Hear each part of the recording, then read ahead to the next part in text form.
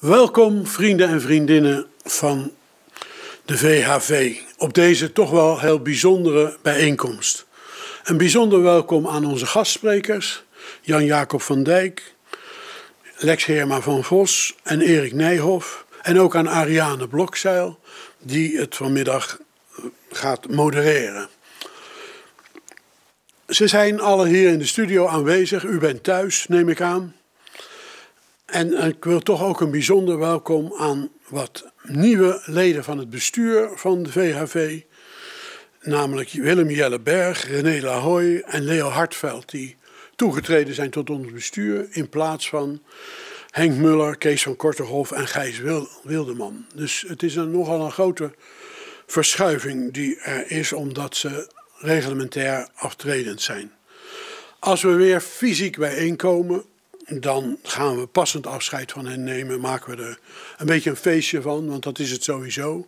Als we weer bijeen kunnen komen, want het is alweer een jaar geleden dat het ons onmogelijk werd gemaakt om onze bijeenkomsten op de normale manier te houden. En ook nu we op deze manier dan een vriendenbijeenkomst houden, missen we natuurlijk toch een belangrijk element van onze bijeenkomsten. Namelijk het, de persoonlijke ontmoeting en het napraten met een borreltje en vooraf een broodje. Dat kan allemaal nu niet. Dat missen we wel. Toch is het contact met jullie de afgelopen tijd wel eenzijdig onderhouden door ons. We hebben nieuwsbrieven verstuurd. Er is natuurlijk de onvolprezen website. Dus we zijn wel gewoon doorgegaan en hebben u nieuwtjes gebracht. En hebben inhoudelijke dingen gedaan. Onze stichting bleef gewoon leven. En dan nu dit webinar. Dat was eigenlijk voor vorig jaar voorzien. Het was een jubileumjaar. 75 jaar. Toen hadden we gedacht in dat jubileumjaar om vooral te gaan kijken naar de wederopbouw van de vakbeweging na de Tweede Wereldoorlog. En daar gaan ook de inleidingen vandaag over. Inleidingen die over de wederopbouw van de vakbeweging na de Tweede Wereldoorlog gaan. En die zich zo'n beetje uitstrekken tot aan het bisschoppelijk mandement. En ergens beginnen, denk ik, zo rond 1943. Het was vorig jaar een heel goed thema, maar het is na 76 jaar, denk ik, ook nog wel een goed thema. En we zijn blij dat de sprekers van vorig jaar ook nu bereid zijn om ons van hun kennis te laten genieten. Ik geef nu dan het woord aan Ariane Blokzeil, die de middag zal modereren. En ik kom weer bij u terug bij de afsluiting, als we allemaal veel geleerd hebben van de geschiedenis. Ariane. Dankjewel, uh, Lodewijk. En inderdaad gaan wij vanmiddag heel veel leren. Ik niet in de laatste plaats. Uh, mijn naam is Ariane Blokzeil, in het dagelijks leven uh, werkzaam bij de FNV Kaderacademie. En in mijn vrije tijd ook uh, vriendin van de Vereniging van de Historie Vakbeweging. Ehm, ik zit hier inderdaad met gerenommeerde gasten in het zaaltje. En hoe gerenommeerd ze zijn, blijkt al uit het feit dat ik in de voorbereiding moest zeggen: wat kan ik nou wegstrepen? Wil ik bondig blijven? Want deze mensen die weten ongelooflijk veel en hebben erop gestudeerd. Een drietal sprekers, uh, Lodewijk heeft ze al uh, aangekondigd. Hoe gaan wij het doen uh, vandaag? Want interactie is nauwelijks mogelijk. Dus wat we dachten, dat het goed was om naar elke spreker uh, de ruimte te geven voor nou één of twee verhelderende vragen. En dan door te gaan. Dus we hebben een echt een kennisbad uh, straks tot aan de pauze. En uh, waarin we via colleges wijzer worden. En um, na de pauze, en die zal om half drie, eh, om tien voor half drie hebben we pauze, om half drie gaan we weer verder. En na de pauze hebben we discussie waarbij iedereen zijn kritische vragen kan stellen. Ans van Uffelen is hier aanwezig. Zij zal ervoor zorgen dat uh, wat vragen gefilterd worden, zodat die ons bereiken. Heel veel plezier. Ik ga. Uh, Lex Heerma van Vos, uh, welkom. Uh, jij gaat het hebben over de wederopbouw van de vakbonden in en direct na de oorlog. Je bent professor, dokter. Je promoveerde op de gevolgen van de achturige werkdag. Je bent nu directeur van het Huygens Instituut. ik geef je heel graag het woord. Ga je gang, Lex. Dankjewel en dank dat ik vanmiddag wat mag zeggen. Uh, ik uh, ga het zo doen dat ik wat over de context van de vakbeweging na de Tweede Wereldoorlog zeg. En dan loop ik een aantal, wat ik instituties genoemd heb, langs die, we, die uit die tijd dateren en die soms tot de dag van vandaag heel belangrijk zijn gebleven. Um, als ik het over die context heb, dan begin ik met verzuiling. Um, iedereen heeft ongetwijfeld een beeld van de verzuiling. Uh, Nederland was ooit veel verzuilder dan het nu is. Als je katholiek was, dan kocht je je brood bij de katholieke bakker als die uh, aanwezig was. En je kinderen gingen naar de katholieke school, je had een katholieke krant en je luisterde naar een katholieke omroep. En dat was ook voor de vakbeweging uh, van belang. Uh, in Nederland was alles in drieën of vieren verdeeld en dat geldt ook uh, voor de vakbeweging. We hadden drie grote vakcentrales in die tijd: een socialistische, een katholieke en een uh, protestant-christelijke. Die drie zuilen waren er ook niet eeuwig geweest. Dat is een laat 19e, vroeg 20e eeuwse ontwikkeling. En de Sociaaldemocraten, de, die het NVV als hun vakcentrale hadden, uh, die dachten dat ze, ehm, als er maar algemeen kiesrecht was, de meerderheid zouden krijgen in de Tweede Kamer. Ooit dachten ze dat. voordat het algemeen kiesrecht er was, toen dat er kwam na de Eerste Wereldoorlog, ontdekten ze dat tegen hun verwachting in de katholieken en de protestantse arbeiders in grote mate op katholieke en protestantse politieke partijen stemden. En uh, dat ze dus op die manier niet de macht zouden houden. Bovendien werden ze door de andere politieke partijen uh, in het, de periode tussen de twee wereldoorlogen eigenlijk buiten de regeringsmacht uh, gehouden. En de SDAP, de toenmalige voorganger van wat nu de PvdA is, die uh, had in de jaren 30 daarom al zijn principes op de schop genomen. Uh, had gezegd dat een revolutionaire omwenteling in Nederland niet meer was wat ze nastreefden. had de parlementaire democratie van ganse harte omarmd, zelfs het Koningshuis geaccepteerd. En uiteindelijk vlak voor de Tweede Wereldoorlog uitbrak, had dat er ook toe geleid dat de SDAP in de regering was gekomen. Onderdeel van deze politiek van de Sociaaldemocraten was ook dat ze zich zeer nadrukkelijk afzetten in de jaren 30 tegen wat zij als ondemocratische partijen beschouwden, niet alleen extreem rechts, maar ook de communisten. Je zou kunnen zeggen dat daarmee de Sociaaldemocraten probeerden om door te breken naar het politieke midden. Uh, en na de oorlog uh, deden ze dat uh, heel nadrukkelijk. Ehm, ze hoopten, omdat er in de Nederlandse maatschappij wel mensen waren die van die verzuiling af wilden, dat ze nu een kans zouden krijgen om de politieke landschap en dan ook dat van de vakbeweging eh, ingrijpend te veranderen. Die gedachte van dat er nu doorbraak en eenheid moet zijn, die komt ongetwijfeld terug in de bijdrage van Erik Nijhoff uh, zo dadelijk. Dat was uh, uiteindelijk een mislukking. Er gingen handjesvol liberale, katholieken en protestanten over naar de nieuwe Sociaal-Democratische Partij, de PvdA, maar in zijn algemeenheid werden de verzuilde verhoudingen hersteld. Ehm, er kwamen wel na de oorlog tot 1958 uh, eh, kabinetten die gevormd waren rond een kern van de katholieken en de sociaaldemocraten. Tot de context van de vakbeweging na de oorlog hoort ook heel nadrukkelijk de herinnering aan de crisis. Uh, de uh, industrialisatie van Nederland had er sowieso al voor gezorgd dat mensen gevoeliger waren voor de conjunctuur. Je kon door uh, omstandigheden buiten je schuld werkloos worden. Uh, en dat was natuurlijk in de jaren 30, zoals u ongetwijfeld weet, massaal gebeurd. Mensen waren lang en veel werkloos en ook mensen die dat normaal niet verwachten. Beroemd is de kreet de ingenieur op de tram, konden geen werk vinden op hun scholingsniveau. Daar wilde men na de Tweede Wereldoorlog wat aan doen. Maar er waren er meer problemen. De Nederlandse economie lag in puin uh, na de oorlog. De Duitsers hadden uh, van alles geroofd. Er waren bombardementen geweest. Er waren jaren geweest waarin aan alles gebrek was.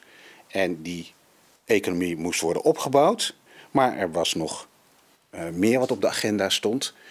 Die economie moest ook gemoderniseerd worden. Nederland was vond men toen niet voldoende geïndustrialiseerd voor een moderne natie. Daar moest een slag gemaakt worden. Nederland was nog in zekere zin, eh, wat toen ouderwets werd gevonden, wat wij nu misschien weer meer bij de tijd zouden vinden, een handelsnatie. En Nederland was een koloniale grote mogendheid, dankzij eh, de kolonie in wat nu Indonesië is. Maar ook die zou Nederland in een paar jaar na de oorlog kwijtraken. Dus er moest echt iets veranderen in die economie, naast die wederopbouw. En de oplossing die daarvoor gedacht werd, was eh, dat Nederland moest concurreren met het buitenland, dus goedkoop moest produceren en dat de lonen dus laag gehouden moesten worden. Laatste stukje context. Uh, niet alleen die uh, werkloosheid van de crisis, daar moest iets voor gevonden worden, maar breder heerste het gevoel dat er wat gedaan moest worden uh, aan uh, het opbouwen van een verzorgingsstaat. Uh, er waren allerlei regelingen, maar die waren doorgaans maar voor kleine groepen mensen, voor beperkte tijd. Bijvoorbeeld had de vakbeweging vaak een, aan zijn leden een verzekering tegen werkloosheid aangeboden. Maar voor een crisis als die van de jaren 30 was die regeling niet sterk genoeg. Er moest dus iets anders gebeuren. De oplossing werd gezocht in een aantal instituties en vaak zijn die al in de oorlog bedacht, zowel in Nederland als in Londen, waar de regering uh, van Nederland naar uitgeweken was, werd er gedacht over hoe Nederland ingericht moest worden na de oorlog. En de toppen van de uh, drie vakcentrales, CNV, eh, Rooms-Katholiek Werkliedenverbond en NVV, eh, die kwamen bij elkaar en spraken af dat ze onder bepaalde voorwaarden, en ze waren het niet onmiddellijk eens, verder samen zouden gaan werken. Dat was in Nederland. In Londen zei de regering uh, dat er nagedacht moest worden over uh, hoe een verzorgingsstaat er in Nederland uit zou kunnen zien. Dat had een directe Engelse aanleiding, Britse aanleiding. Uh, in oorlogen moeten in ieder geval in de klassieke patriarchale samenleving die het Westen nog was in de Tweede Wereldoorlog, moeten de mannen vechten. En daarom moesten de vrouwen de fabrieken in uh, om het werk van de mannen op te vangen. Uh, en de Britse regering dacht uh, dat het goed zou zijn om na de oorlog de opoffering te belonen door een verzorgingsstaat in te richten. Er kwam een plan van een Britse politicus Beveridge, die een plan maakte voor die verzorgingsstaat. En de Nederlandse regering in ballingschap zei, daar moeten wij ook over nadenken. En vroeg dat aan Van Rijn. Dit is uh, uh, die Van Rijn. Uh, iemand die voor de oorlog als secretaris-generaal een hoge ambtenaar op verschillende ministeries was geweest. Een CHU'er die wel de doorbraak naar de sociaaldemocratie meemaakte. en iemand die twee dagen voordat de oorlog uitbrak minister was geworden in Londen allerlei functies vervulde en na de oorlog ook weer als secretaris-generaal en staatssecretaris een belangrijke rol zou hebben in het uitbouwen van de sociale zekerheid. Die maakte naar het idee van het Beveridge-plan ook een, uh, een voorstel voor de sociale zekerheid in Nederland na de oorlog. Uh, sociale zekerheid is een probleem wat de vakbeweging altijd te harte is gegaan. Er zijn een aantal grote risico's van het leven. Uh, je kan werkloos worden, ziek worden. Uh, je kan voor een groot gezin moeten zorgen. Je wordt, hoop je, oud. En in al die gevallen uh, is het niet zeker dat je als arbeider voldoende kunt verdienen om de kosten daarvan te dragen. En daar is de vakbeweging altijd ter harte gegaan dat daarin voorzien moest worden. Um,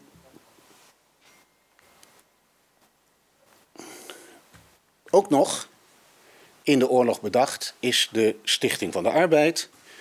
Uh, een initiatief van werkgevers en werknemersleiders om te zeggen wij moeten na de oorlog meer overleggen met elkaar en samen uh, de maatschappij richting geven. Ik uh, projecteer hier een.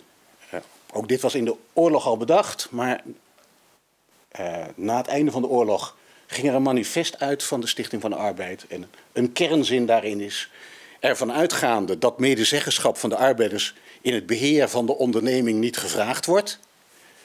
Vertaald omdat het NVV nu niet meer revolutie wil en het bedrijf wil overnemen. Werd eenheid van inzicht verkregen over de wenselijkheid van een ruime vertegenwoordiging van de arbeidersvakbeweging in het hoogste economische college dat de regering terzijde zal staan. Nou, dat is ook deftig ouderwetse taal, maar vertaald, als je belooft geen revolutie te maken, dan mag je in wat nu de SER is, de regering adviseren en krijg je langs die weg invloed. En daarnaast dat op dit terrein ook een aantal lagere publiekrechtelijke organen moet worden gesticht. Vertaald, we hebben ook nog de confessionele uh, vakbeweging en die wil graag dat op deze manier er medezeggenschap gegenereerd wordt. Laatste, wat in Londen voorbereid werd uh, en na de oorlog uitgerold, um, was dat een al bestaande club, het college van Rijksbemiddelaars, dat waren mensen die in het geval van een arbeidsconflict als bemiddelaar konden worden gevraagd om naar een oplossing te zoeken, dat dat eh, na de oorlog een andere rol zou krijgen. Eh, namelijk omdat het idee was dat de wederopbouw gefinancierd zou moeten worden met lage lonen, eh, moesten die lonen in de perken worden gehouden. Dus er kwam een regeringsorgaan dat iedere loonstijging of verbetering van de arbeidsvoorwaarden uh, moest goedkeuren. Dat is een hele cruciale ontwikkeling voor de vakbeweging om te aanvaarden. Want het was onderdeel van die deal die daarnet al uh, met dat citaat van de Stichting van de Arbeid werd omschreven. Uh, je krijgt invloed uh, op het beleid, maar je moet meewerken aan het in toom houden van uh, de lonen. Um, als, je, als ik met mensen daarover praat, bestaat vaak het idee dat in die uh, periode de vakbeweging nauwelijks nog een staking kon uitroepen vanwege die geleide loonpolitiek. En dat valt eigenlijk reuze mee. Dit is een grafiek van het aantal stakingsdagen dat er geweest is. En hij loopt van 1900 tot 2020. En hier, dat gaatje in de rode lijn, is de oorlog als we geen gegevens hebben. En je ziet dat uh, weliswaar er voor de oorlog veel meer gestaakt werd dan daarna. Maar ook dat in de jaren 40, uh, de tweede helft van de jaren 40, er nog behoorlijk veel stakingsdagen waren. In 1946 waren er 600.000 en nog wat stakingsdagen. Tegelijkertijd zie je ook uh, dat er wel degelijk een hele fundamentele omslag plaatsvindt. Als je de periode voor de oorlog met die geweldige pieken vergelijkt met de continuïteit na de oorlog, dan zie je dat het uh, klimaat in Nederland rond arbeidsvoorwaarden fundamenteel veranderd is. In de jaren voor 1940 vochten werkgevers en werknemers geregeld punten uit. In de jaren na 45 um, is Nederland een land met lage stakingsintensiteit, waar eerst heel veel overlegd wordt en desnoods dan een actie gevoerd wordt. Um, dat veranderde, uh, die geleide loonpolitiek, de rol van de vakbeweging, uh, ook al werd er nog wel gestaakt, uh, ernstig. Uh, de vakbeweging werkte mee aan productiviteitsverhogingen. Zoals arbeiders toen wel zeiden, uh, was de uitwerking van dat beleid wij de zenuwen en de baas de centen. Want met de wederopbouw van Nederland werd ook het Nederlandse bedrijfsleven weer winstgevend. In het katholieke kamp veranderde de positie van de belangrijkste organisatie en ook van naam. Het Rooms-Katholieke Werknemersverbond werd uh, de katholieke arbeidersbeweging. En dat had ook consequenties voor de interne organisatie. Heel langzaam kwam die losser uit uh, de katholieke zuil. Maar met de nadruk op heel langzaam. Um, in uh, eh, 1947 mocht Van Rijn, nu hij weer alle Nederlanders in zijn commissie kon krijgen, het nog een keer proberen en werd begonnen met het opbouwen van dat stelsel van sociale zekerheid. Um, in 1947 was daarvan een hele belangrijke uh, oogst. Um, de noodwet Drees, waarmee de AOW werd ingevoerd. Maar ik heb hier niet een plaatje van Drees voor jullie, maar een plaatje van Suurhof. Eén, omdat dit de echte eerste AOW-uitkering is die hij uitkeert. Twee, omdat dat pas in 1957 was, tien jaar later. Want er moest heel wat uh, geregeld worden voordat uh, de AOW ook een wettelijke regeling was. En drie, omdat het eigenlijk ook mooier is dat het Suurhof toen minister was. Want die kwam uit de vakbeweging, had het documentatiebureau van het NVV geleid, was hoofdbestuurslid geweest. En hier zie je dus echt de winst van de vakbeweging uitgekeerd worden aan de eigen achterban door de eigen voorman. Um, het was ingewikkeld in die verzuilde samenleving om die sociale zekerheid uh, te regelen, omdat er allerlei principes aan elkaar geplakt moesten worden die heel verschillend waren. Nou, misschien kunnen we daar in de vragentijd nog wat verder uh, op ingaan. Uh, ik sluit af met een aantal dingen die eigenlijk, nou ja, waar je kan afvragen, is dat nog de geschiedenis van uh, na de oorlog? Maar ik vind dat het logisch uit deze besproken periode voorkomt. Uh, een hele andere belangrijke regeling, de WW. Ander groot risico wat afgedekt werd voor, voor alle loontrekkenden wettelijk in 1949. In 1950 de SER, uh, het overlegorgaan waarvan ik u niet uit hoef te leggen hoe het belangrijk is tot de dag uh, van vandaag. Je kan een rechte lijn trekken tussen deze periode van geleide loonpolitiek via het akkoord van Wassenaar tot waar we vandaag zijn. Um, in 1954 het mandement. Ik zei daarnet al dat die katholieke zuil en alle zuilen heel belangzaam begonnen af te brokkelen. De bisschoppen die de leiding in de katholieke zuil hadden, vonden dat uh, gevaarlijk. In 1954 uh, vaardigden ze een tekst uit waarin ze onder andere zeiden dat het katholieken verboden was om lid van het NVV te worden. Dat zette al deze samenwerkingen die ik zojuist genoemd heb op scherp. Uh, we komen daar in het verhaal van Jan Jacobs zo ongetwijfeld nog op terug. Een uiting van die verzuiling van de invloed van katholieken uh, op dit beleid was, als ik het volgende plaatje nu kan krijgen. Ja, daar is het. Uh, is een, uh, dat het heel belangrijk werd gevonden dat de vrouw uh, niet als ze gehuwd was, niet een betaalde baan had en zeker niet in een fabriek. Dit is een uh, vakbondsposter uit 1950 dat nadrukkelijk zegt dat de helft van de potentiële arbeiders niet moet werken in Nederland. Uh, ook dat, terwijl het hier nog en met het amendement geprobeerd wordt om het te versterken, uh, hield niet lang stand.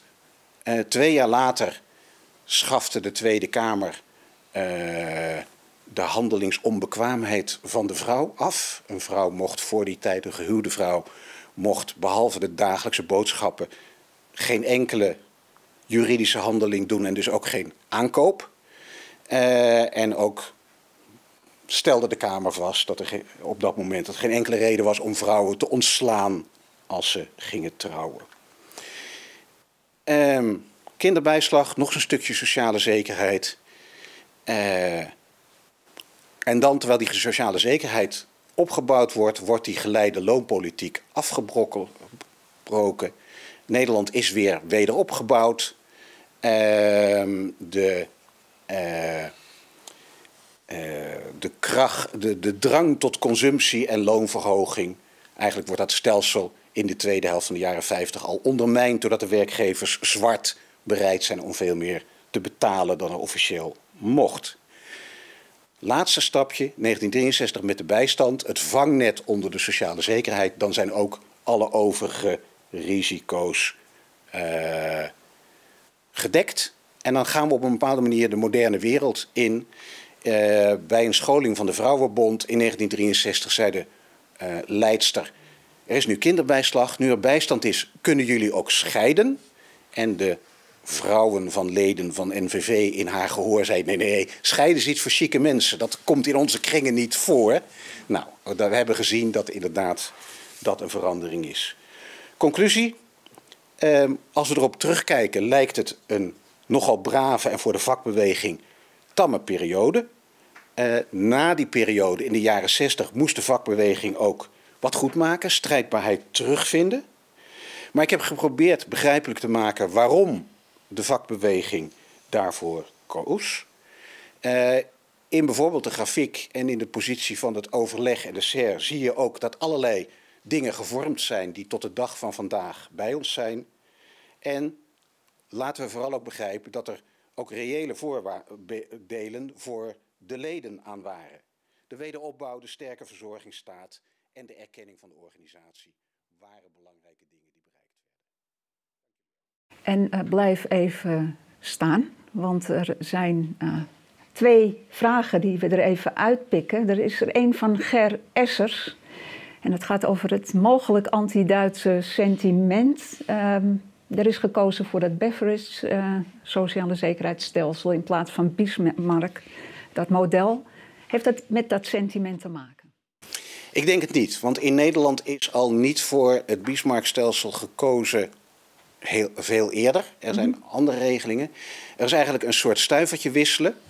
Uh, landen als Nederland en Engeland kenden vroeg, en als ik vroeg nu zeg, bedoel ik rond 1800, uh, al allerlei voorzieningen die er toen in Duitsland niet waren. Duitsland liep achter. Mm -hmm. Bismarck heeft zijn voorzieningen ingevoerd, onder andere om de Duitse socialisten, de SPD, de winst uit de zeilen, de wind uit de zeilen te nemen.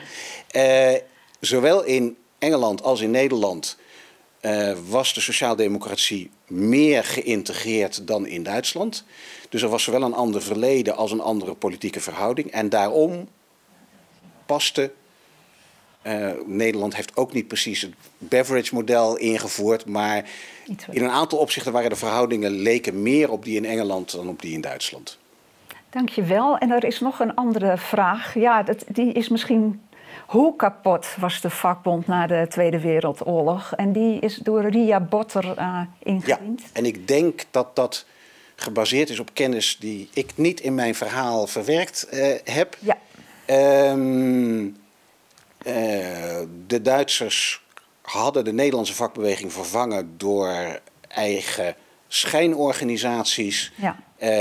Um, maar als er iets kapot was, dan was dat door de rol van het NVV aan het begin van de oorlog. Ja. Omdat het NVV zich heeft laten gebruiken in die beweging. Doordat eerst uh, conventionele organisaties ontmanteld werden en uh, de uh, NVV'ers, een aantal NVV-bestuurders daarbij, omdat ze dachten, nu krijgen we een eenheidsvakcentrale en dat willen we graag, daarbij zich hebben laten gebruiken en een kwalijke rol hebben gespeeld. Dankjewel. Ik zie nog een derde vraag van Evert Smit, die ook wel echt voor jou is. En daarna stoppen we met de app-vragen. Waarom geen rol voor de vakbeweging in de uitvoering van de sociale zekerheid, zoals in België? Ja, het uh, grenzensysteem is een oud voorbeeld wat heel veel invloed heeft gehad in een heel aantal landen. Uh, uh, wat daar de kern voor is, een rol bij de arbeidsbemiddeling, zie je bijvoorbeeld ook in Frankrijk. Uh, maar niet in uh, Nederland. Maar op andere manieren heeft de Nederlandse vakbeweging wel degelijk een hele grote rol gehad bij de uitvoering van de sociale zekerheid. Wanneer dat, en dat past dan weer bij het systeem wat hier geschetst wordt, in bedrijfsverenigingen plaatsvond. Dus het is niet een op zo absoluut als het hier staat kun je niet zeggen dat in Nederland de vakbeweging geen rol had bij de uitvoering van de sociale zekerheid. Die is pas twintig jaar geleden uh, ontmanteld. Ja. Dankjewel. Uh, Lex Heerma van Vos. Ik weet zeker dat er thuis voor je geapplaudisseerd wordt. En ook in deze studio. Dankjewel. Um, er wordt hier geklapt. Dat lijkt me hartstikke logisch. Als je belooft geen revolutie te maken, Erik, dan krijg je invloed. Uh, we gaan het hebben over de opbouw, de ontwikkeling van de eenheidsvakbeweging en de eenheidsvakcentrale in het tijdsgevricht, die net ook is geschetst door Lex. Uh, Erik, uh, hartelijk welkom. Jij bent uh, docent-onderzoeker. Was dat bij de afdeling, of bent dat, afdeling uh, Economische en Sociale Geschiedenis van de 19e en 20e eeuw. En je promoveerde in 1988 op de dissertatie Arbeidsverhoudingen in de Rotterdamse haven. En op het terrein van de EVC en de EVB heb je heel veel gedaan, maar dat ga jij nu vertellen. Dank Erik Nijhoff. Dankjewel, fijn dat ik hier een uh, verhaal nog mag houden. Um, ik wil het hebben over de eenheidsvakbeweging. Uh, de eenheidsvakbeweging is een uh, beweging die van onderop uh, is opgericht zeg maar, in de oorlog. En die heeft een belangrijke rol gespeeld uh, in het uh, directe naoorlogse gebeuren. En ik wil daar iets over vertellen, omdat het eigenlijk een trend is geweest die inging tegen de trend die Lex even heeft geschetst, die in botsing kwam met die zich vestigende institutionele kaders. En die daar, nou enorme strijd heeft opgeleverd. Tegelijkertijd heeft het ook wel een aantal nieuwe dingen opgeleverd die uh, ook uh, nou ja, als een soort tegenstroom gebleven zijn. En dat spanningsveld wil ik eigenlijk hier uh, gaan behandelen. De NS-vakbeweging is opgericht ja, eigenlijk al clandestien. Uh, in 1944 officieel. En de, de wortels ervan die liggen eigenlijk uh, in de verdeelde vakbeweging zoals die voor 1940 was. Daar heeft Lex al iets over gezegd, die verzuilde vakbeweging. Maar die bleek ook gewoon heel erg uh, slecht voor de arbeidsverhoudingen eh, vanuit de arbeiders zelf gezien. Er waren verschillende grote stakingen, die werden eh, verloren. Denk aan de, eh, de textielstaking in het jaar 31-32, de Tilburgse textielstaking in 1935. Er zijn nogal meer. Die gingen verloren omdat de vakbeweging op een gegeven moment uh, volstrekt verdeeld was. En delen van de vakbeweging gewoon ophielden met de staking terwijl anderen nog door wilden gaan. Um, dat leidde tot enorm veel uh, ja, wrok eigenlijk ook onder de arbeiders. Um, het NVV, eh, daar is iets over gezegd. Dat ging de orde in als een organisatie die uh, nog steeds een soort eenheid wilde. Uh, ze kregen die van de Duitsers in de scho schoot geworpen toen ze per 1 mei 1941 de alle vakbonden ja, ontbonden, behalve het NVV. Die mocht blijven voortbestaan en de anderen werden geacht zich daarin uh, te scharen. Uh, daar hebben ze zelf weer mee uh, gebroken. Want in 1942, ook op 1 mei, werd het Nationaal Arbeidsfonds opgericht. Maar die periode van één jaar waarin het NVV als een soort pseudo-eenheidsvakbeweging fungeerde, waarin nog een behoorlijk aantal bestuurders mee is gegaan, dat is eigenlijk iets geweest dat enorm veel wrok heeft veroorzaakt onder arbeid arbeiders, ook via geval het NVV zelf. Ehm, later in de ereraad zijn ze gaan kijken van wat zijn nou foute bestuurders geweest. En hebben ze gezegd van ja, er zijn degenen die na 1 mei 42 zijn doorgegaan. En dat was eigenlijk iets waar uh, een hele hoop arbeiders het gewoon niet mee eens waren, ook uh, niet-arbeiders trouwens. Uh, onder de bevolking heerste ook eigenlijk vrij veel uh, ja, afkeer van het oude bestel van politieke partijen, vakbonden, juist die verzuiling. Maar het idee van uh, we hebben nu één grote vijand en we zijn nu eigenlijk uh, met z'n allen één. En het zou goed zijn als we die eenheid die we nu voelen, als we die naar de oorlog zouden kunnen voortzetten. En dat we die ook kunnen inzetten voor sociale vernieuwing. Ehm, en eigenlijk zie je dus eigenlijk twee dingen. Wat, wat Lex even zei, er werd eigenlijk door uh, een aantal vakbondbestuurders in de clandestiniteit en dingen uitgedokterd. De Stichting van Arbeid werd uitgedokterd. Uh, in Londen werden allerlei uh, initiatieven genomen. Maar er eigenlijk ook heel veel in de clandestiniteit. Uh, waren er uh, discussies van dat moeten we anders doen. We moeten dat van onderop opbouwen. En daar is de CPN een belangrijke uh, aanjager voor geweest. De CPN had een tamelijk actieve rol in het verzet. die, die, die koesten ze ook. Ze dachten ook dat we nu door die rol in het verzet groot respect hebben gewonnen. We kunnen daardoor ook gebruik maken van onze positie om na de oorlog allerlei nieuwe doeleinden te bereiken. En vooral die eenheid is heel erg belangrijk. En kunnen we daarbij ook een beetje beetje uit ons isolement treden en uh, verbindingen leggen met al die groepen die we dus niet hebben kunnen bereiken.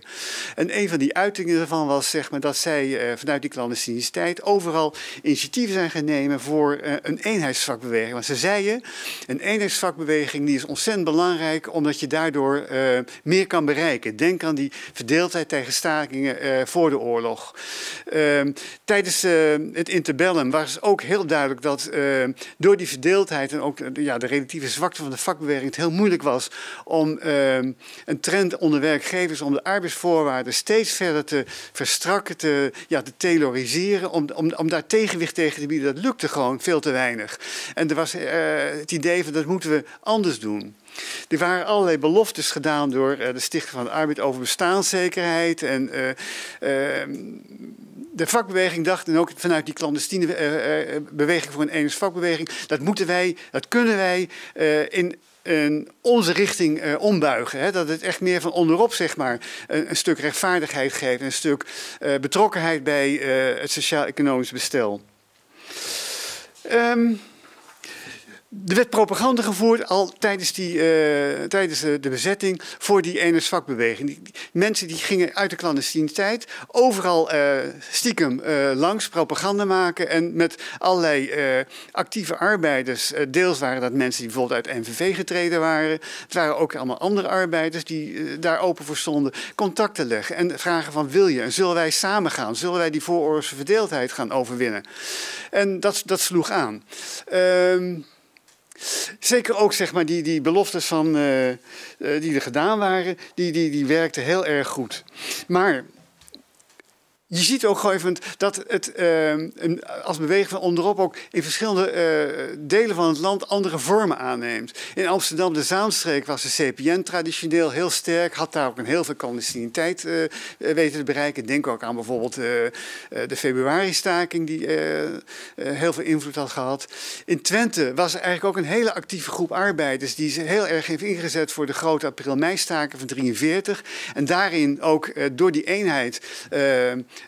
best veel kon bereiken uh, daar in dat uh, gebied. In de Mijnstreek werd propaganda gemaakt, ook voor vakbondseenheid. Uh, daar ging een communist van Exter ging erheen. Die heeft het geprobeerd en het bleek aan te slaan. En toen is daar zeg maar de Algemene Bond van Werkers in mijn bedrijf opgericht. Dat was nog voordat het zuiden bevrijd werd. Ehm, en die was gewoon veel militanter dan de katholieke bond. En die sloeg er zo aan dat ze dachten van nou, dat, dat, dat gaat goed daar. Dat was eigenlijk het eerste keer dat ze het echt uitprobeerden. En bijvoorbeeld in Rotterdam had je een uh, traditie van, uh, ja, ik noem het maar syndicalisme, maar mensen die vooral zeg maar, de vakbondstrijd centraal wilden stellen en niet zo uh, geporteerd zijn voor allerlei politieke interventies vanuit partijen. Die zeggen gewoon, we hebben een arbeiders ongedeeld belang, dat moeten we goed laten doorwerken en dan kunnen wij een, een goede vakbondspolitiek ontwikkelen waarbij we ook invloed kunnen uitoefenen. Dus heb je een aantal, er zijn nog meer delen van Nederland, maar in, allerlei delen van Nederland werd er dus zeg maar propaganda gemaakt en het was een beweging. Daarom is die naam eenheidsvakbeweging ook doelbewust gekozen. Het was de bedoeling ook dat het een beweging zou zijn die zo groot en zo massaal zou zijn dat het die oude vakorganisaties zou beletten om terug te keren, dat ze dat niet zouden doen. Um, nou, Eigenlijk de eerste grote clash, en daar wil ik het dan uh, kort over hebben, uh, waar dat uh, naar voren kwam, is de havenstaking in Rotterdam in 1945, vlak na de bevrijding. Er zijn eigenlijk twee stakingen geweest. en die begon eigenlijk al vrij snel heel spontaan, vanwege het feit dat de arbeiders weer onder een oude CAO moesten werken. er zaten gewoon dingen in die pikten ze niet. Dus, in, in de jaren 30 was er bijvoorbeeld ingevoerd dat ehm, de taken, een arbeider heet dan, werkt in taken, het zijn dus een periode van 4, 4,5 uur met een pauze ertussen. is dan één werkdag. Maar omdat die dingen zo gesplitst waren, hebben de werkgevers ontdekt van hé, hey, maar je kan ook zeg maar mensen flink laten werken in de ochtend. Dan sturen ze gewoon weer eh, een tijdje terug en dan laat je ze in de avond weer opnieuw terugkomen. En dan hebben ze opnieuw uh, ja, lekker fris en dan uh, hebben ze een hoge productiviteit. En die arbeiders zeggen ja, dan mogen wij in de basistijd recupereren. Dan mogen we nog een keer ons helemaal afraffelen.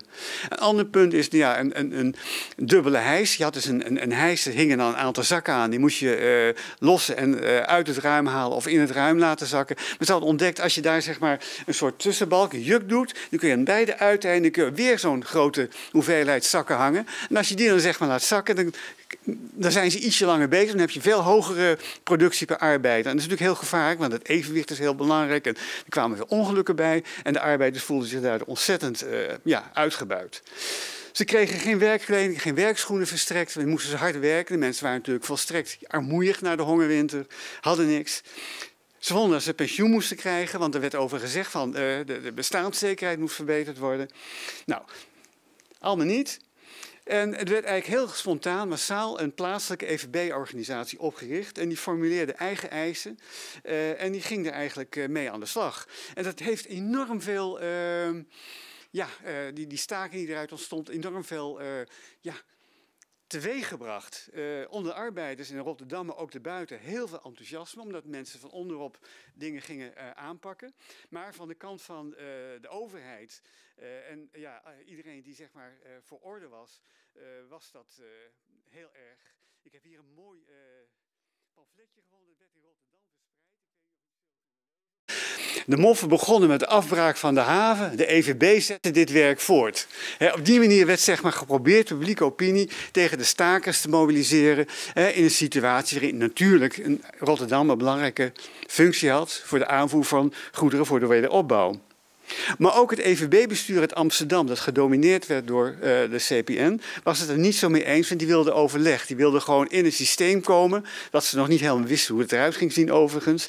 Uh, maar die wilde gewoon samenwerking met. Uh, nou ja, met, met, met de, de, bestaande vakbeweging zoveel mogelijk. dus ze hoopten dus dat zij de vakbeweging zou zijn. Als het niet zou lukken, dan moest je proberen samen te werken. Daar kwam het eigenlijk op neer. Nou, en dan krijg je die clash. Want die arbeiders, die, ook die leiders, die daar eh, zeg maar op handen gedragen werden door een achterban, die dachten van nou, hè, eh, de, uh, enorme ovaties enzovoort, die werden opeens geconfronteerd met een delegatie van uit Den Haag, eh, ook van de oude vakbeweging. Die zeiden van ja, maar dat gaat zomaar niet, we hebben een nieuw systeem. En zeiden ja, een nieuw systeem, hoezo? Die dachten gewoon, wij hebben nu zeg maar een fantastische situatie gecreëerd om van onderop zeg maar allerlei dingen te veranderen. Nee, zei ze, je kunt denken dat je, uh, dat je dat kan, maar dat gaat helemaal niet. Want zo, al, al je zo sterk zijn dat de werkgever zou zeggen: Oké, we, gaan, hè, we zwichten, we doen dat allemaal niet meer wat jullie willen, uh, uh, we gaan het anders doen. Dan nog gebeurt het niet, want dan moeten de college van Rijksbemiddelaars het doen. College van Rijksbemiddelaars, wat is dat nou weer? Ja, er waren Rijksbemiddelaars in de tijd van de bezetting, dus het. dat, dat, dat werd eigenlijk gewoon overgenomen. Dat had een hele slechte naam onder die arbeiders. Dus dat was uh, olie op het vuur. Um, maar ja, uh, de grote uh, publieke opinie was tegen. Uh, ook het landelijk EWC-bestuur was tegen. En ze kregen het idee van ja, het gaat heel moeilijk worden. Dus uiteindelijk uh, hadden ze het idee van ja, we zullen toch moeten nadenken hoe die speelregels nou aan elkaar zitten.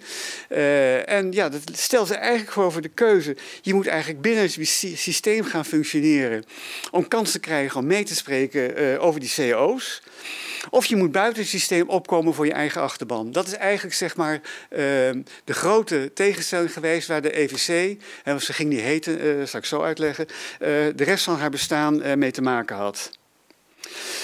Um, het was inmiddels duidelijk geworden, zeg maar, door dat systeem. Hè, dus die, die, die drie vakbonden die hadden met elkaar afgesproken.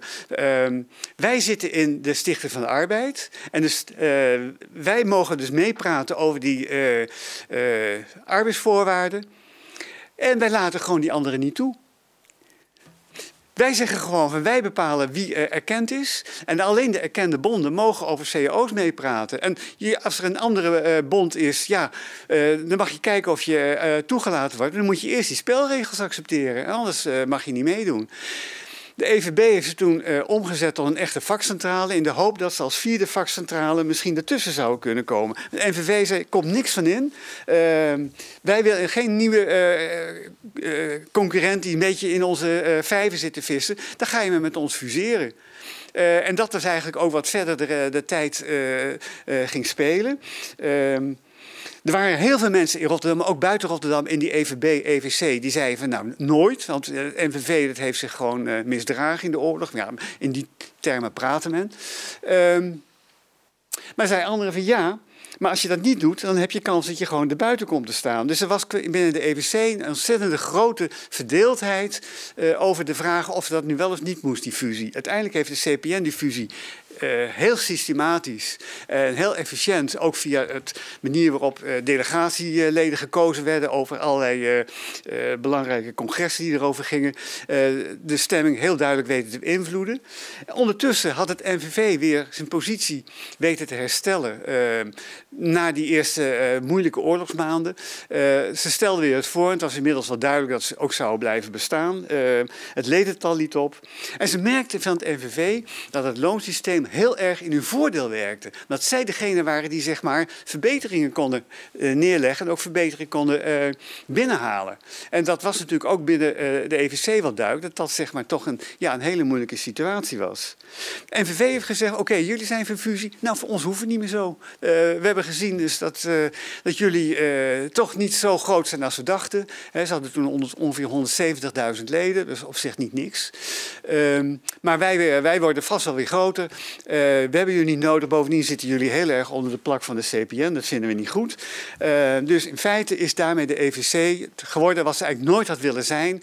Een vierde vakcentrale die buiten het systeem kwam te staan. En uh, eigenlijk alleen maar nou ja, aan de zijlijn stond. Is daarmee zeg maar het hele ja, EVC helemaal mislukt. Uh, nou, daar kun je op verschillende manieren over denken. Uh, wat er eigenlijk gebeurde is uh, dat de EVC, en er is ook weer een afsplitsing in Rotterdam gekomen, want in Rotterdam was men eigenlijk niet zo voor die eh, CPN-invloed. Die hebben een, een, meer een syndicalistische, vanuit de vakbond, vanuit het vakbondsbelang, arbeidersbelang, redenerende stroming, had daar de overhand, hebben ze een bond gesticht, onafhankelijk verbond van bedrijfsorganisaties. Ehm, maar beide werkte eigenlijk op dezelfde manier. Ze wisten arbeiders uh, eisen uh, ja, te mobiliseren. Uh, er konden stakingen komen. En dan werd duidelijk dat op welke punten eigenlijk de dingen wrongen. En daar kon het NVV dan zijn voordeel mee doen. En dat gebeurde dan ook. Daardoor is zeg maar tot eigenlijk uh, tot aan eind van de jaren 60 deze stroming weliswaar buiten het systeem gebleven, maar die oefenden wel zeg maar, een soort corrigerende werking op het systeem uit. Zodat eisen werden overgenomen enzovoort. Ik heb er ook een mooi voorbeeld van. Ik heb bijvoorbeeld van het OVB een pamflet en dan uh, zegt het uh, bijvoorbeeld havenarbeiders, uh, een gerechtvaardigde eis hè, kerstgratificatie, die hebben wij al in 19, die hebben al vier jaar gesteld. En, en, die wordt nu eigenlijk, hè, sinds 48, in 52, werd die eigenlijk door het NVV overgenomen. Althans, het NVV wist het binnen te halen en zeggen, ja, maar het komt rond. Dat hebben wij altijd die tijd gedaan. En jullie hebben uh, uiteindelijk het NVV gezien. Dat je er niet meer onderuit kon. En uh, let wel arbeiders. Um, dat is onze wens. Dit is, dit is, onze wens geweest. Maar is ook onze, uh, ons, onze verdiensten. Dus er is eigenlijk ja, toch steeds wel een, een, een, een vorm van ja, van, van oppositie geweest tegen het systeem, die nou ja, niet helemaal, laat ik zeggen, nutteloos was. Je kunt ook zeggen dat het bestaan van de EVC daarbuiten heeft ook binnen de SER. Hè, de SER eh, nam zeg maar het, zelfs het systeem van die erkende vakbonden over. Die mocht ook bepalen wie er wel of niet mocht meepraten als organisatie in de SER. Het heeft in de SER wel. Uh, ertoe geleid dat uh, ook andere organisaties, dan niet de EVC, want die was niet te betrouwen, maar er waren wel andere, dat ze die uiteindelijk ook hebben toegelaten tot het overleg, zeg maar. Dat is, ja, dit is een belangrijk eh, precedent geweest, denk ik. Wat verder de EVC ook uh, van belang is geweest, zeg maar, um, er zal uh, nog verder over gepraat worden. Um, zij zijn de eerste geweest die zeg maar geen beroepsgroepen, uh, beroepsbonden meer hebben gehad. Die hebben ze, ze hebben bedrijfsbonden, dus bedrijfstaksgewijze organisatie ingevoerd. Meteen toen ze zichzelf oprichten. Dat, is, dat was eigenlijk ook de les van voor de, van, van voor de Tweede Wereldoorlog. Ehm, dat je als werknemer zoveel mogelijk je zo moet organiseren dat je met al je mensen tegenover één groep werkgevers staat, bij wie je dan al die belangen tegelijkertijd kan behartigen. Dat je niet van bij de een voor dit moet zijn, bij de ander voor dat moet zijn. Eén groot pakket bij één, grote, één groot loket en daar moet je erover onderhandelen. Dus zij zijn erin voor opgegaan. Andere bonden hebben dat ook uh, ingezien, die wilden dat ook, maar konden dat niet zo snel. Het is pas in de jaren 50 ingevoerd. En de EVC is ook van belang geweest, omdat het eerste geweest is die uh, in uh, propaganda heeft gemaakt, vorm het ook heeft uh, uh, geëffectueerd in bepaalde situaties. Bedrijfskernen, dat zijn dus personeelsvertegenwoordigingen die uh, belangen van het personeel bij de directie bepleiten. En dat was zeg maar buiten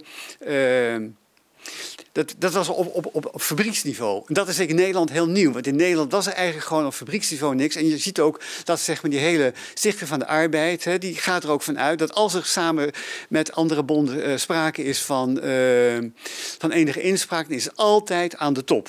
En nooit zeg maar op bedrijfsniveau. Maar de EVC wilde juist heel sterk, en de EVB eigenlijk moet zeggen, die wilde dat vooral op, uh, op bedrijfsniveau doen. En daarmee uh, zijn ze een soort voorloper van de uh, ondernemingsraad geworden. Waar weliswaar toen de directeur bij kwam zitten. Dus ik denk dat dat zeg maar ja, toch een gemengd verhaal is over betekenis van de EVB en EVC.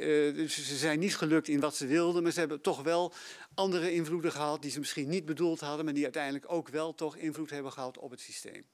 Dank u wel. Dankjewel, uh, Erik. En uh, er is een uh, vraag binnengekomen waarvan ik zeg dat we die na de pauze straks in de discussie uh, meenemen. Want dat is geen verhelderende vraag. Het is een hele mooie discussievraag, namelijk of er een historische zwakte van de vakbeweging is ontstaan door die, het inleveren op de werkplek, de kracht op de werkvloer. Uh, ja.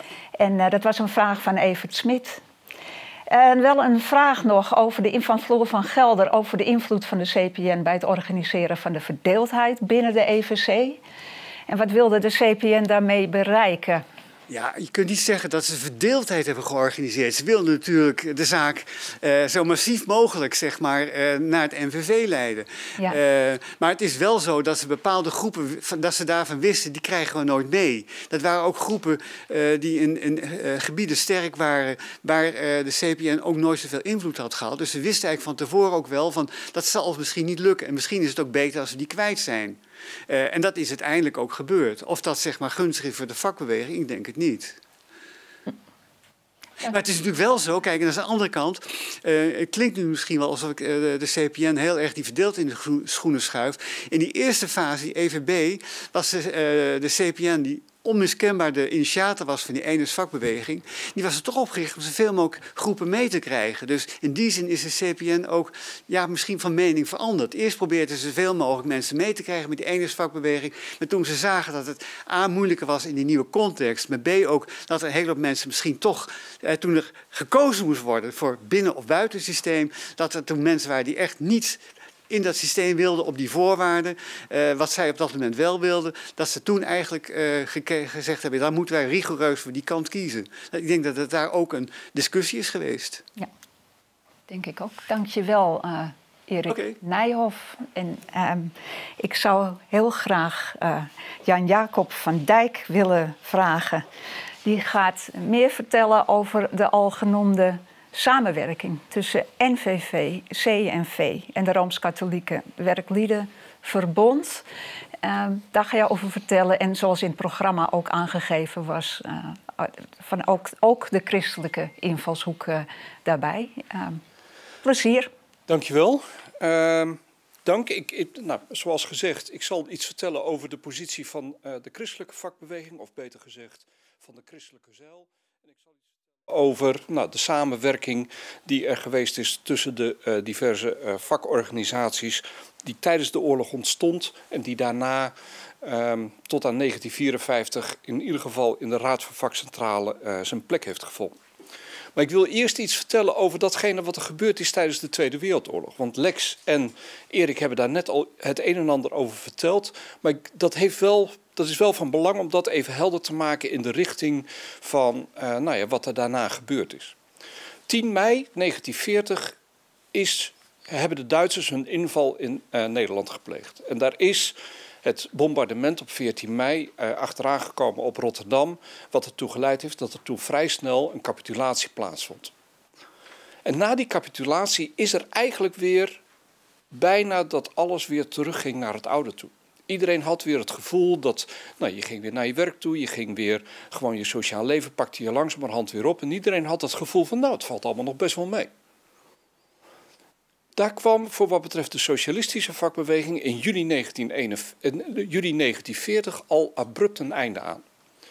NVV werd op dat moment bezocht door uh, de Duitsers en daar kreeg men te horen dat men voorzitter en vicevoorzitter direct opzij werden gezet en dat de rest van de mensen moesten blijven werken onder leiding van Woudenberg en dat was een NSB. En hij was degene die op dat moment ging bepalen wat er nog precies wel en niet gebeuren mocht binnen het NVV. Op diezelfde dag kreeg ook het RKWV en het CNV bezoek ook van de Duitsers. Maar daar werd niet iemand neergezet die de besluitvorming overnam, maar er werd een zogeheten beoopachter neergezet. Dat was iemand die waarnam wat er nou precies gebeurde binnen de vakbeweging, maar totaal geen invloed kon uitoefenen op datgene wat er binnen de vakbeweging gebeurde. Bij het NVV was het dus nadrukkelijk dat men daar volledig onder leiding van NSB en van de Duitsers kwam te staan. Dat was dus niet het geval bij RKWV en bij uh, het CNV.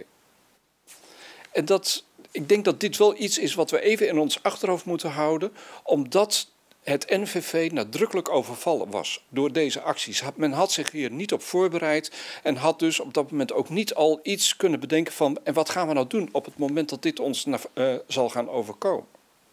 Dat was anders toen een jaar later, in juli 1941, het RKWV en het CNV hetzelfde lot onderging. Want die kregen ook te horen dat zij vanaf dat moment onder NSB'ers zouden worden geplaatst en eigenlijk onder het NVV geschoven zou worden.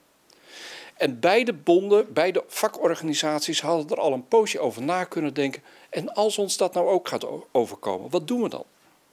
En ze hebben op dat moment besloten dat ze, wat er ook zou gebeuren, ze zouden hun werkzaamheden neerleggen. Ze zouden nog wat dingen afronden. Maar binnen twee weken zouden ze allemaal hun post gaan verlaten en zouden ze andere dingen gaan doen. Zo is het ook gegaan. RKWV en CNV hebben op de dag dat zij te horen kregen dat ze hier onder de Duitsers geplaatst zouden worden, of onder de NSB geplaatst zouden worden, direct gezegd: wij stoppen ermee, wij vertrekken, wij zijn nog bereid om gedurende twee weken nog dingen te gaan doen, maar daarna gaan wij weg. Dat was fundamenteel anders bij het NVV, maar zij hadden zich erop kunnen voorbereiden. was wel een grote actie daarna. En die actie was dat er ook de leden werd opgeroepen om de bond te gaan verlaten. En dat was wel een cruciale zet die op dat moment gepleegd werd door de leiding van de vakbeweging. Daar zat iets in, namelijk wij zullen niet onder die Duitsers komen. Dus dat was de ene kant. Maar de andere kant was voor een groot gedeelte de sociale zekerheid. En zeker voor die bonden die te maken hadden met seizoenswerkloosheid, was de bond ook de bron van inkomen in perioden dat je werkloos was. En dat was met name in de landarbeiders, maar ook in de bouw- en de houtsector was dat een zeer belangrijke bron om te kunnen blijven overleven op het moment dat je geen geld had. En wat gebeurde er? Je zag dat er de katholieke bisschoppen achter de vakbeweging ging staan en dus vanaf de kansel werd opgeroepen: je moet je lidmaatschap opzeggen van de bond. Dat is het beste om te gaan doen, met als gevolg dat 3% van uiteindelijk de katholieke leden lid bleef van de bond en de anderen zijn allemaal vertrokken. Bij het CNV was dat anders. De dominees vertikten het om het vanaf de kansel op te roepen om deze actie te gaan ondernemen. En er was nogal een vrij grote groep, met name in de landarbeiders en bij de bouw, die toch het van groot belang vonden dat zij nou ja, dat stukje inkomen zouden blijven houden op het moment dat zij eh, werkloos zouden worden. En daar is pak een beet, in die twee sectoren is 20, 25 procent van de leden is wel lid gebleven van de bond. En een in andere sectoren waren de percentages veel lager, wat uiteindelijk nog lid is gebleven. En de dominees zeiden: het is de persoonlijke verantwoordelijkheid van iedere arbeider om deze stap te gaan zetten. Dus wij gaan dat niet vanaf de kansel uh, uh, afdwingen om dat te gaan doen. Tijdens die Tweede Wereldoorlog, nou, om dit verhaal misschien eerst even af te maken. Door die leegloop van de bonden zagen de Duitsers dat uiteindelijk hun grip op nou, de bestaande Nederlandse vakbeweging totaal verdwenen was. En hebben toen uiteindelijk, zoals Erik ook net aangaf, het Nationaal Arbeidsfront uh, in 1942 uitgeroepen. En dat was ook aanleiding voor nogal wat NVV-bestuurders om op dat moment te zeggen: en dit gaat ons te ver, wij stoppen ermee, wij gaan weg. Er zijn er nog wel enkelen ook nog gebleven, die ook later door de ereraad van het NVV ook veroordeeld zijn geweest. Met name binnen de landarbeiders, Hilgenga is daar een bekend voorbeeld van. Maar bijna alle andere personen die eerder nog wel hun activiteiten hadden voortgezet, zijn nou ja, op een of andere manier gerehabiliteerd.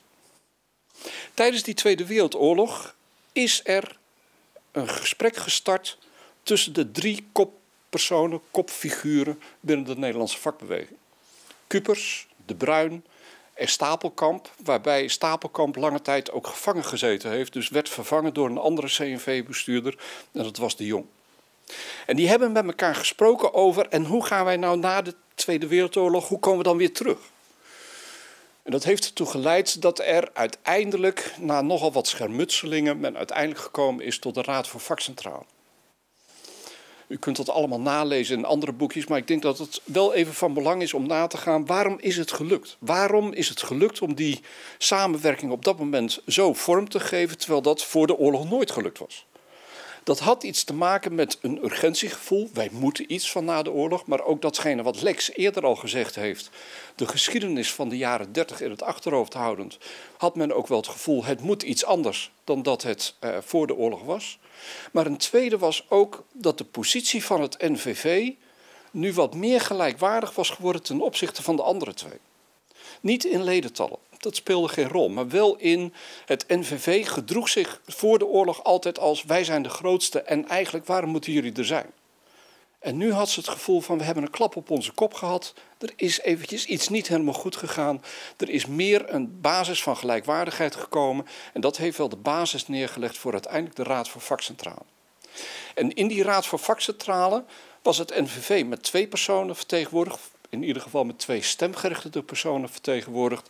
En de katholieke en de protestants-christelijke bond waren ieder eh, met één zetel vertegenwoordigd.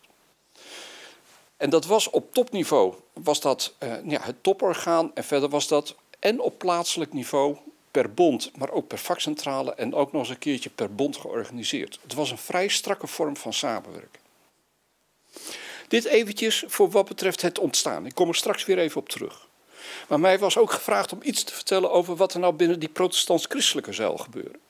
En dat was eigenlijk wel, en dat wordt niet zo heel erg scherp onderkend in de literatuur, eigenlijk was daar toch wel een fundamentele wijziging gaande. Voor de oorlog was het zo dat eigenlijk de ARP, de politiek, dominant was binnen de protestants-christelijke zuil. Zeker op heel veel sociaal-economische onderwerpen. Kijk maar naar het eerste Christelijk Sociaal Congres van 1891, wat echt ARP met uh, Abraham Kuyper de dominante rol speelde.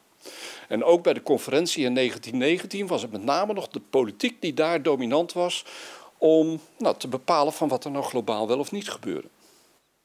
Na de Tweede Wereldoorlog vond er binnen het CNV een belangrijke wisseling plaats.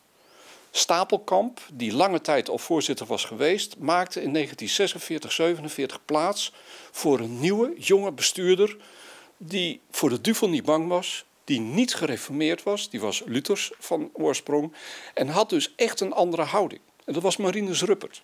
Was voorzitter geweest van de eh, Landarbeidersbond, maar dat was echt een persoon die ook intellectueel op een hoog niveau stond, op een goede manier de discussie kon gaan voeren. En die was echt voor de duvel niet bang.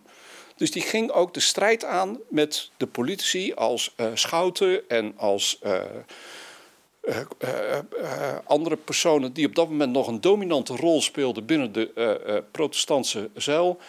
En zorgde ervoor dat er echt een wat ander geluid binnen die protestantse zuil kwam. Die zei ook nadrukkelijk dat op het terrein van sociaal-economische onderwerpen zal ook de christelijke politiek echt een dominante rol moeten gaan spelen en naast die arbeiders gaan staan.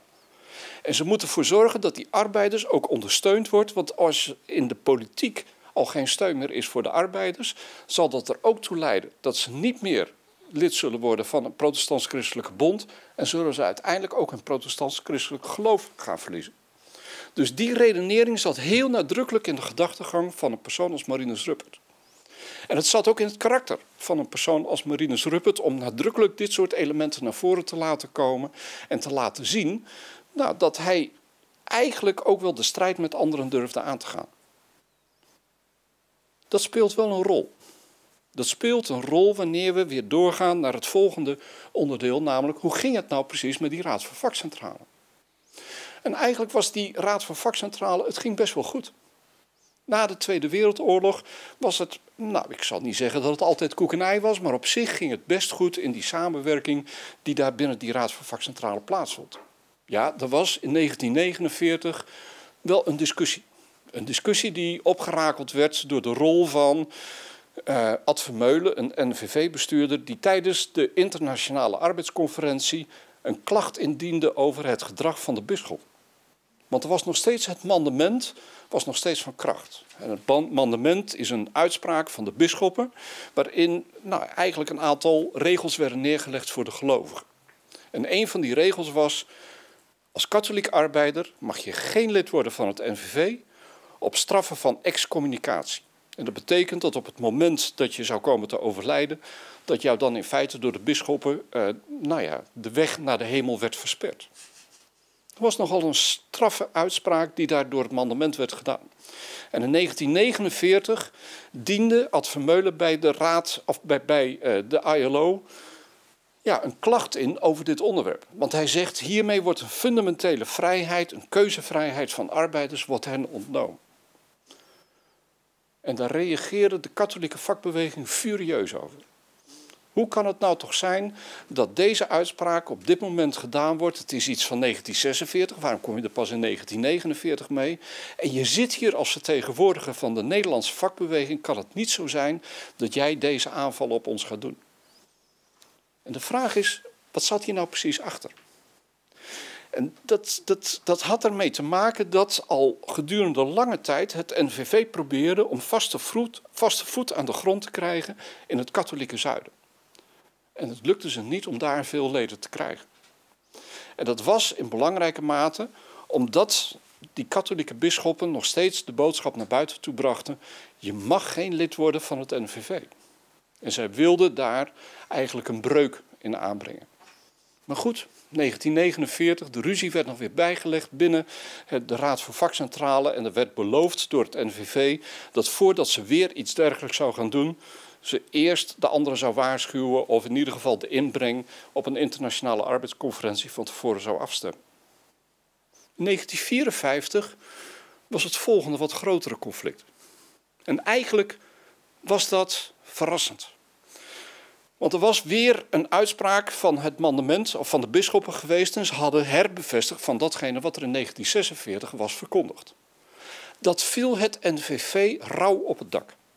Het NVV dacht, en die hadden er ook echt hard aan gewerkt vanaf 1949 tot en 1954, regelmatig contact gezocht met de katholieke bisschoppen om eens na te gaan van wat is er nou precies aan de hand? Wat moeten wij nou doen om ervoor te zorgen dat jullie niet meer zo afwijzend zijn tegenover ons?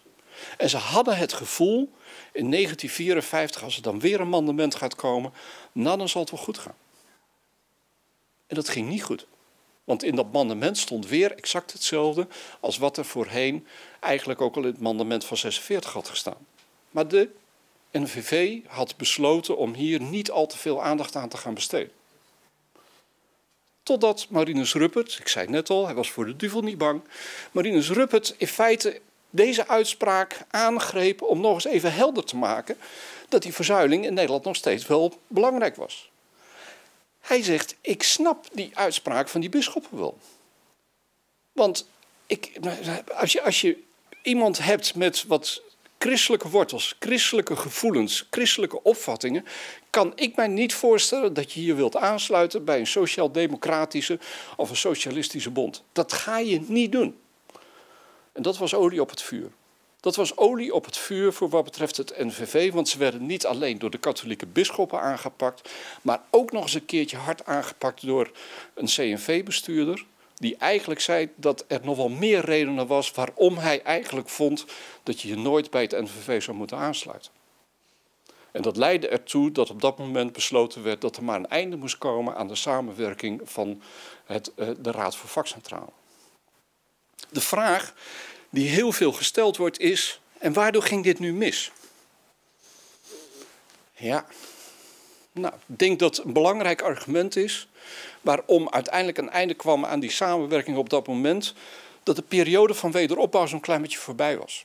Negen jaar lang had de Nederlandse economie weer de gelegenheid gehad om langzamerhand tot groei te komen. Er was weer wat vlees op de botten, bij met name de werkgevers gekomen. Maar er was ook weer een gevoel van, we zijn door die eerste fase van wederopbouw zijn we wel heen gekomen. Het tweede is denk ik ook dat de personen die in, het, in de oorlog die samenwerking tot stand hebben laten brengen, dat die personen weg waren. Al die personen hadden plaatsgemaakt voor hun opvolgers en het doet iets met je. Het doet iets met je wanneer je gezamenlijk aan een tekst hebt geschreven, gestreden hebt om er weer samen een samenwerking van te gaan maken. En die mensen die zijn langzamerhand vervangen die dat niet meer hebben meegemaakt. En ook dat is, denk ik, een belangrijk element geweest wat ertoe geleid heeft waarom het uiteindelijk gestopt is. Een derde, de Raad voor Vakcentrale en de bedrijfsunies, die konden met elkaar op deze manier samenwerken vanwege het feit dat er in die periode door het college van Rijksbemiddelaars in de geleide loonpolitiek niet zo heel erg veel ruimte werd geboden om iets anders te doen. Je kon geen profiel trekken doordat je iets meer vroeg, want bijna iedereen vroeg datgene wat het college van Rijksbemiddelaars als maximale ruimte voor loonstijging bood, dat vroeg je al. Dus daar had je geen profileringsmogelijkheid meer om daar nog het een en ander mee te gaan doen. Nou, dat met elkaar zorgde ervoor dat er ook niet zoveel noodzaak was om op dat moment echt een afwijkend geluid te hebben. Maar zo om en nabij 1954, 55 kwamen de eerste scheurtjes. Begon de ruimte te komen, of begon in ieder geval het gevoel naar boven te komen van wij moeten wat meer ruimte hebben om wat van die geleide loonpolitiek af te kunnen komen. Dus die drie elementen zijn in ieder geval de reden geweest waarom op dat moment een einde is gekomen aan die samenwerking. Maar de vraag is of het wel juist is om de vraag op tafel te leggen waarom er een einde is gekomen aan die samenwerking. Zou het niet veel meer de vraag moeten zijn, hoe heeft men het voor elkaar gekregen dat gedurende negen jaar lang men zo intensief met elkaar heeft samengewerkt dat er eigenlijk vrijwel geen eigen kleur was naar de leden toe over datgene wat gedaan werd. Ja, natuurlijk, er waren er de partijorganen waarin het een en ander naar voren werd gebracht, maar eigenlijk was er geen ruimte om daar iets mee te gaan doen. En die vraag, het antwoord op die vraag is in mijn ogen veel en veel interessanter dan het antwoord op de vraag waarom er een einde aan die samenwerking van de vakbeweging is gekomen. Na 1954 heeft het even weer geduurd, maar vanaf 1958 is er weer een nieuwe samenwerking gekomen tussen de vakcentrales, maar op een veel lossere basis dan dat die voor 1954 bestond. Dus er was behoefte aan samenwerking, maar in een veel losser verband dan dat dat voor 1954 plaatsvond. En daarmee heb ik geprobeerd om aan te geven hoe die samenwerking tijdens de Tweede Wereldoorlog is ontstaan. gedurende negen jaar intensief en goed heeft kunnen plaatsvinden. Ook op een goede manier nou, samengewerkt is, veel bereikt is. Dat heeft uh, Lex Herman van Vos net ook aangegeven. Maar in 1954, de koek was op en dat was ook het einde van de samenwerking. Blijf nog even staan. Ik zie geen uh, verhelderende vragen. Dus uh, u, beste mensen thuis, heeft het helemaal goed begrepen. Uh, tenzij iemand nog een nabrander heeft, dan is daar de ruimte voor. Ik begon net met te zeggen: deze inleiders zijn zo gerenommeerd dat het moeilijk is samen te vatten. En nou had ik jou wel heel kort samengevat, Jan Jacob, want ik heb je helemaal niet geïntroduceerd. Dus ik maak van de gelegenheid gebruik om nog even te zeggen dat uh, u thuis heeft geluisterd naar het politicoloog, politicus en bestuurder ex-Tweede Kamerlid uh, voor het CDA en tot voor kort bijzonder hoogleraar christelijk sociaal denken over economie, maatschappij en calamiteiten der ethisch denken. En je hebt verschillende publicaties uh, geschreven.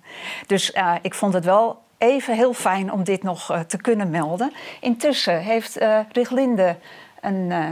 ah, een opmerking. Iedereen zit aan het scherm gekluisterd. Dag Riglinde, ik wil je even groeten. Um, dus dat is hartstikke mooi om te horen. En als we daarin geen tegengeluid horen, dan uh, is dat alleen maar mooi. Wij gaan boeiend, zegt Evert Smit. Dat is ook leuk om hier even de zaal in te slingeren, lijkt mij. Uh, wij gaan uh, even pauze nemen. Ook even het net ophalen. Van ook, uh, nog een vraag van Evert Smit van voor de pauze. Ook even kijken welke vragen of dilemma's dit oproept. En dat zijn er vast wel een paar bij deze inleiders in ieder geval. Ik geef in ieder geval de mensen thuis de gelegenheid en om te plassen, maar ook om even te kijken of er nog een kritische kanttekening te plaatsen is. Doe je best, om half drie zien wij elkaar weer hier. Tot zo.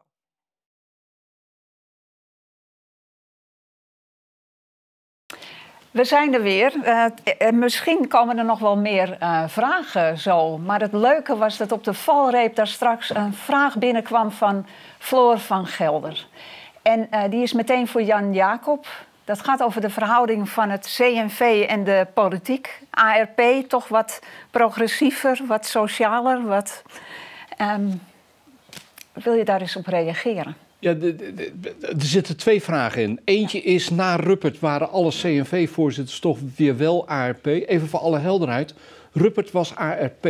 Dus die was nog steeds, ook binnen diezelfde zeil, uh, binnen de ARP, hij was daar lid van, ondanks het feit dat hij niet gereformeerd was. Dus hij was een van de weinigen.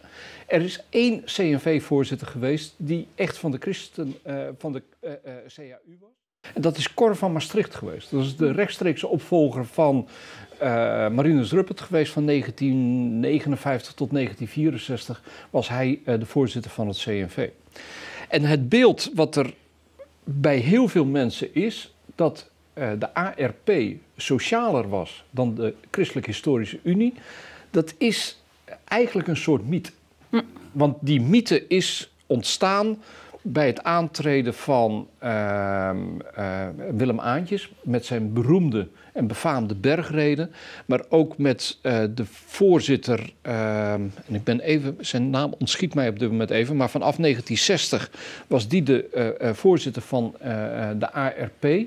En die had echt een wat progressiever geluid. Hm. Maar de ARP was direct na de oorlog zeer terughoudend. Hm. Was echt conservatief op het terrein van overheidsoptreden. Dus uh, ze hebben in de uh, uh, Tweede Kamer in de tijd ook tegen bijvoorbeeld de invoering van de kinderbijslag gestemd, ook tegen de invoering van de AOW gestemd. Want daar waren ze, dat was inmenging van de overheid in het geheel en conform de leer van de soevereiniteit in eigen kring zou dat eigenlijk niet moeten. En pas vanaf de jaren 60 tot aan nou ja, het opgaan in het CDA toen zijn ze wel de progressieve koers opgegaan, maar daarvoor was dat absoluut niet het geval. En maakt het niet uit CAU of ARP? Nou, dat CA geen invloed- C- CAU was veel progressiever. CAU is ook na de oorlog eh, wel in het kabinet gegaan met Schermerhorn en daarna ook met Drees eh, Mhm. van meet af aan. Daar, daar heeft eh, de, de ARP een poos echt niet meegedaan en ook oppositie gekozen ten opzichte van het toenmalige eh, kabinet wat er toen zat. Andere nog aanvullingen hierop, hier aanwezig? Ja? Nou, een, een aardig bezin. Van Rijn, die dus uit het Ja. CU kwam voordat hij naar de. Eh, hij is in 46 denk ik naar de PvdA overgestapt. Maar hij was dus na de oorlog nog CHU'er. Ja. En hij was toen lid met 48 andere mensen van een comité. wat zich in de CHU verzette tegen sa- nauwe samenwerking met de ARP. Precies op het punt wat Jan Jacob noemt, omdat men de ARP te conservatief vond. En bij de opbouw van de verzorgingsstaat was de ARP ook vaak, en Jacob ook al, voorbeelden, wa- was eh, ehm, heel precies in de leer. Dus allerlei dingen mochten niet. En een van de redenen waarom dat zo lang duurde om al die regelingen te maken, was dat er constructies bedacht werden, waardoor wat in feite een overheidsregeling was, nog verkocht kon worden als eh, verzekering. En dat was dan altijd niet om de CAU'ers, want die waren veel pragmatischer en even sociaal voelend door de bank genomen. Ehm, Door de...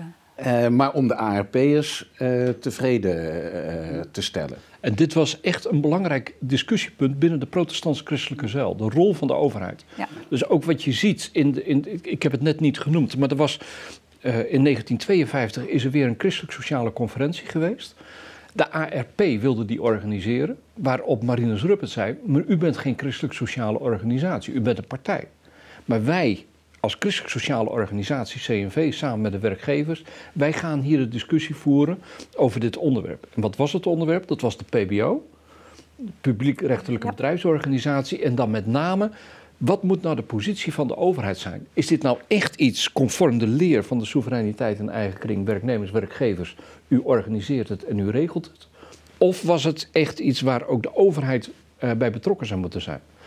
En eh, nou, daar werd eigenlijk gezegd door eh, CNV en door de werkgevers. Wij denken dat dat misschien best wel eens. eh, eigenlijk zou het iets moeten zijn wat tussen werknemers en werkgevers opgelost zou moeten worden. En binnen de ARP was er een stroming die eigenlijk zegt van ja, de rol van de werknemers, dat zou je eigenlijk niet daar zo prominent moeten laten zijn. Dus daar was elke keer discussie over. strijd over. Het was echt strijd. Interessant. Eh, Floor, je vraag roept een hoop op. En ik zie ook een vraag van Paul Denenkamp. En dat gaat over Vermeulen. Ja. Op welke manier die wel werd geaccepteerd door Nou, CNV. En, Ad Vermeulen, Ja. misschien is het goed om daar iets over te zeggen. Je had voor de Tweede Wereldoorlog had je nog de neutrale, of, of de Nederlandse vakcentraal, dat was een neutrale vakorganisatie. Eh, had, was niet zo heel erg groot, 50.000 leden, maar die werd niet geaccepteerd door de anderen. En Ad Vermeulen was een van de prominente personen binnen die organisatie. Hij was geen voorzitter, maar hij speelde daar wel een rol. En toen eh, in juli, eh, 41 eh, juli 1940 werd het NVV werd gelijk geschakeld. Ja. En NVC werd opgeheven, maar werd tegelijkertijd onder het NVV gezet. En daar Roosjen, dat was de voorzitter, en Vermeulen zijn toen ook overgegaan in die richting. En dat heeft met name bij Marinus Ruppert, die was daar des duivels over. Die, die heeft er ook heel veel last van gehad.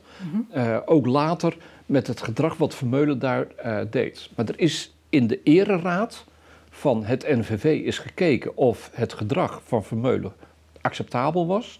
Nou, tot aan, ik denk 1941, nou, heeft hij gewoon binnen het NVV dingen gedaan. Maar daarna heeft hij ook een prominente rol gespeeld in het verzet ter bescherming van werknemers binnen, eh, en leden eh, binnen het NVV. Dus om die reden is uiteindelijk, zo wordt in dat boek naar grotere eenheid beschreven, Ja.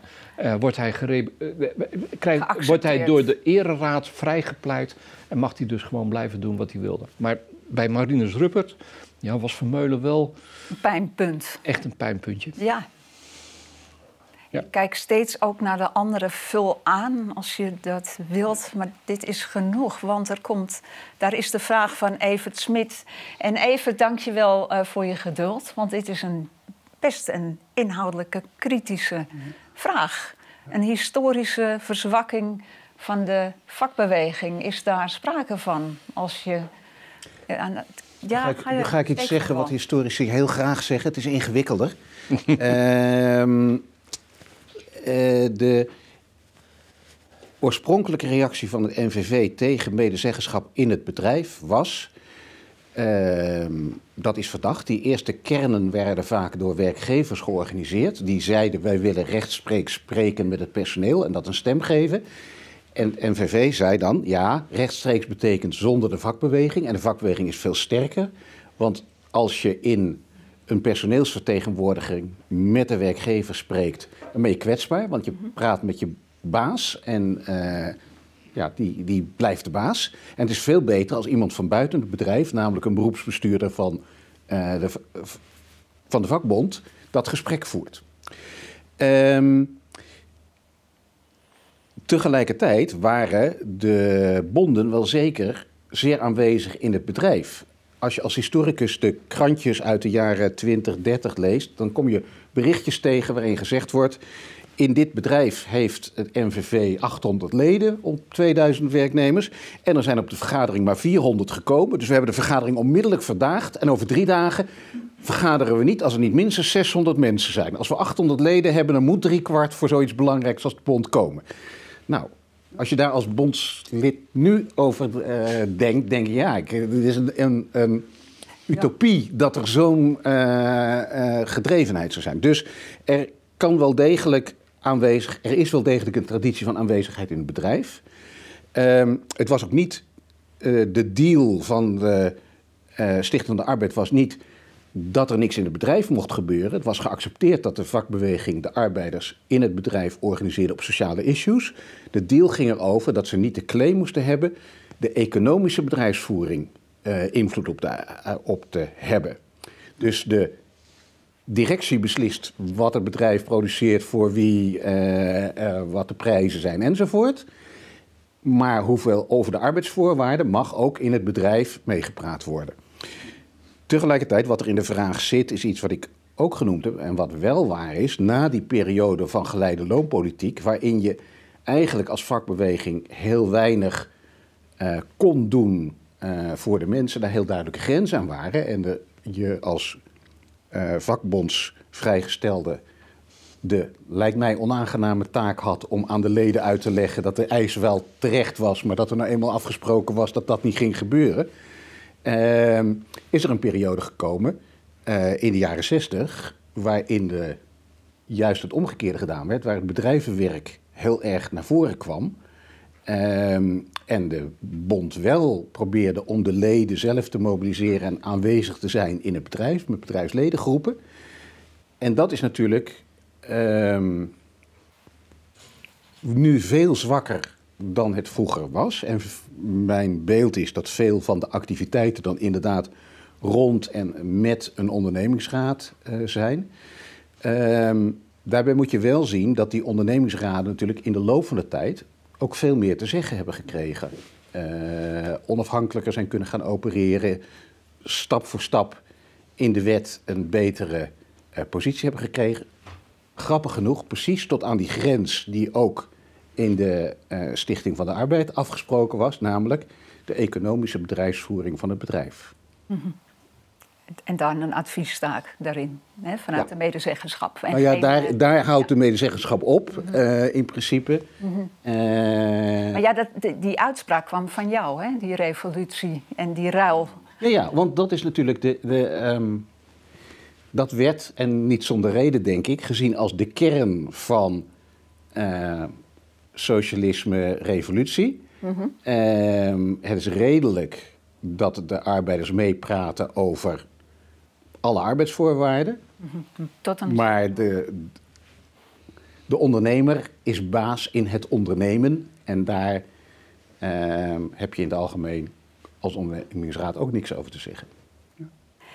Heb jij daar... eh, Nou ja, kijk, de EVC, Erik. of de EVB vooral in die periode, trok zich eigenlijk niks aan van die grens. Dus die stelde eisen die eh, geformuleerd werden door de mensen aan de basis. En eh, daar, kijk, ze waren dus op zich niet zo tegen dat de arbeiders zichzelf manifesteren. En dan heb je een van aanspreekpunt. Maar die arbeiders waren niet zo uh, nauwkeurig met die grens. Dus dan kreeg je van daaruit allerlei dynamiek die gegeven ook tegen het systeem in kon gaan. En dat was weer niet gewenst. Dus dat probeerden ze toch zoveel mogelijk dan in die zin te beperken. Maar wat ik probeer te achterhalen toch wel is hoe strikt dat systeem nou was. Hoeveel ruimte was er nou wel of niet? Ik kom daar niet zo uit na voor de pauze. Ja. want ik zie uh, aan de ene kant hè, uh, die, die stakingen en uh, ja. beweging. Ik hoor jou over beweging. Ik hoor de star als star. dus nou. vertel eens, hoe zit het nou? Ik denk dat daar zeg maar bewegingen als de EVC eh, later en ook het OVB, maar ook gewoon allerlei andere bewegingen die er geweest zijn, ook van onderop, een, een, zekere invloed kunnen hebben. Maar dan moet je zeg maar, daarbij in aanmerking nemen de ontwikkeling van de arbeidsmarkt. Mm -hmm. Want dat is namelijk een heel punt wat uh, eigenlijk ertussen eigenlijk een beetje de beschouwing is gebleven. Maar die arbeidsmarkt, dat was natuurlijk ook doordat uh, de arbeid goedkoop was, werd er eigenlijk ook niet zo heel veel in diepte-investeringen gedaan. Dus als we zeg maar, productie uitbreiden, had je meer arbeiders nodig.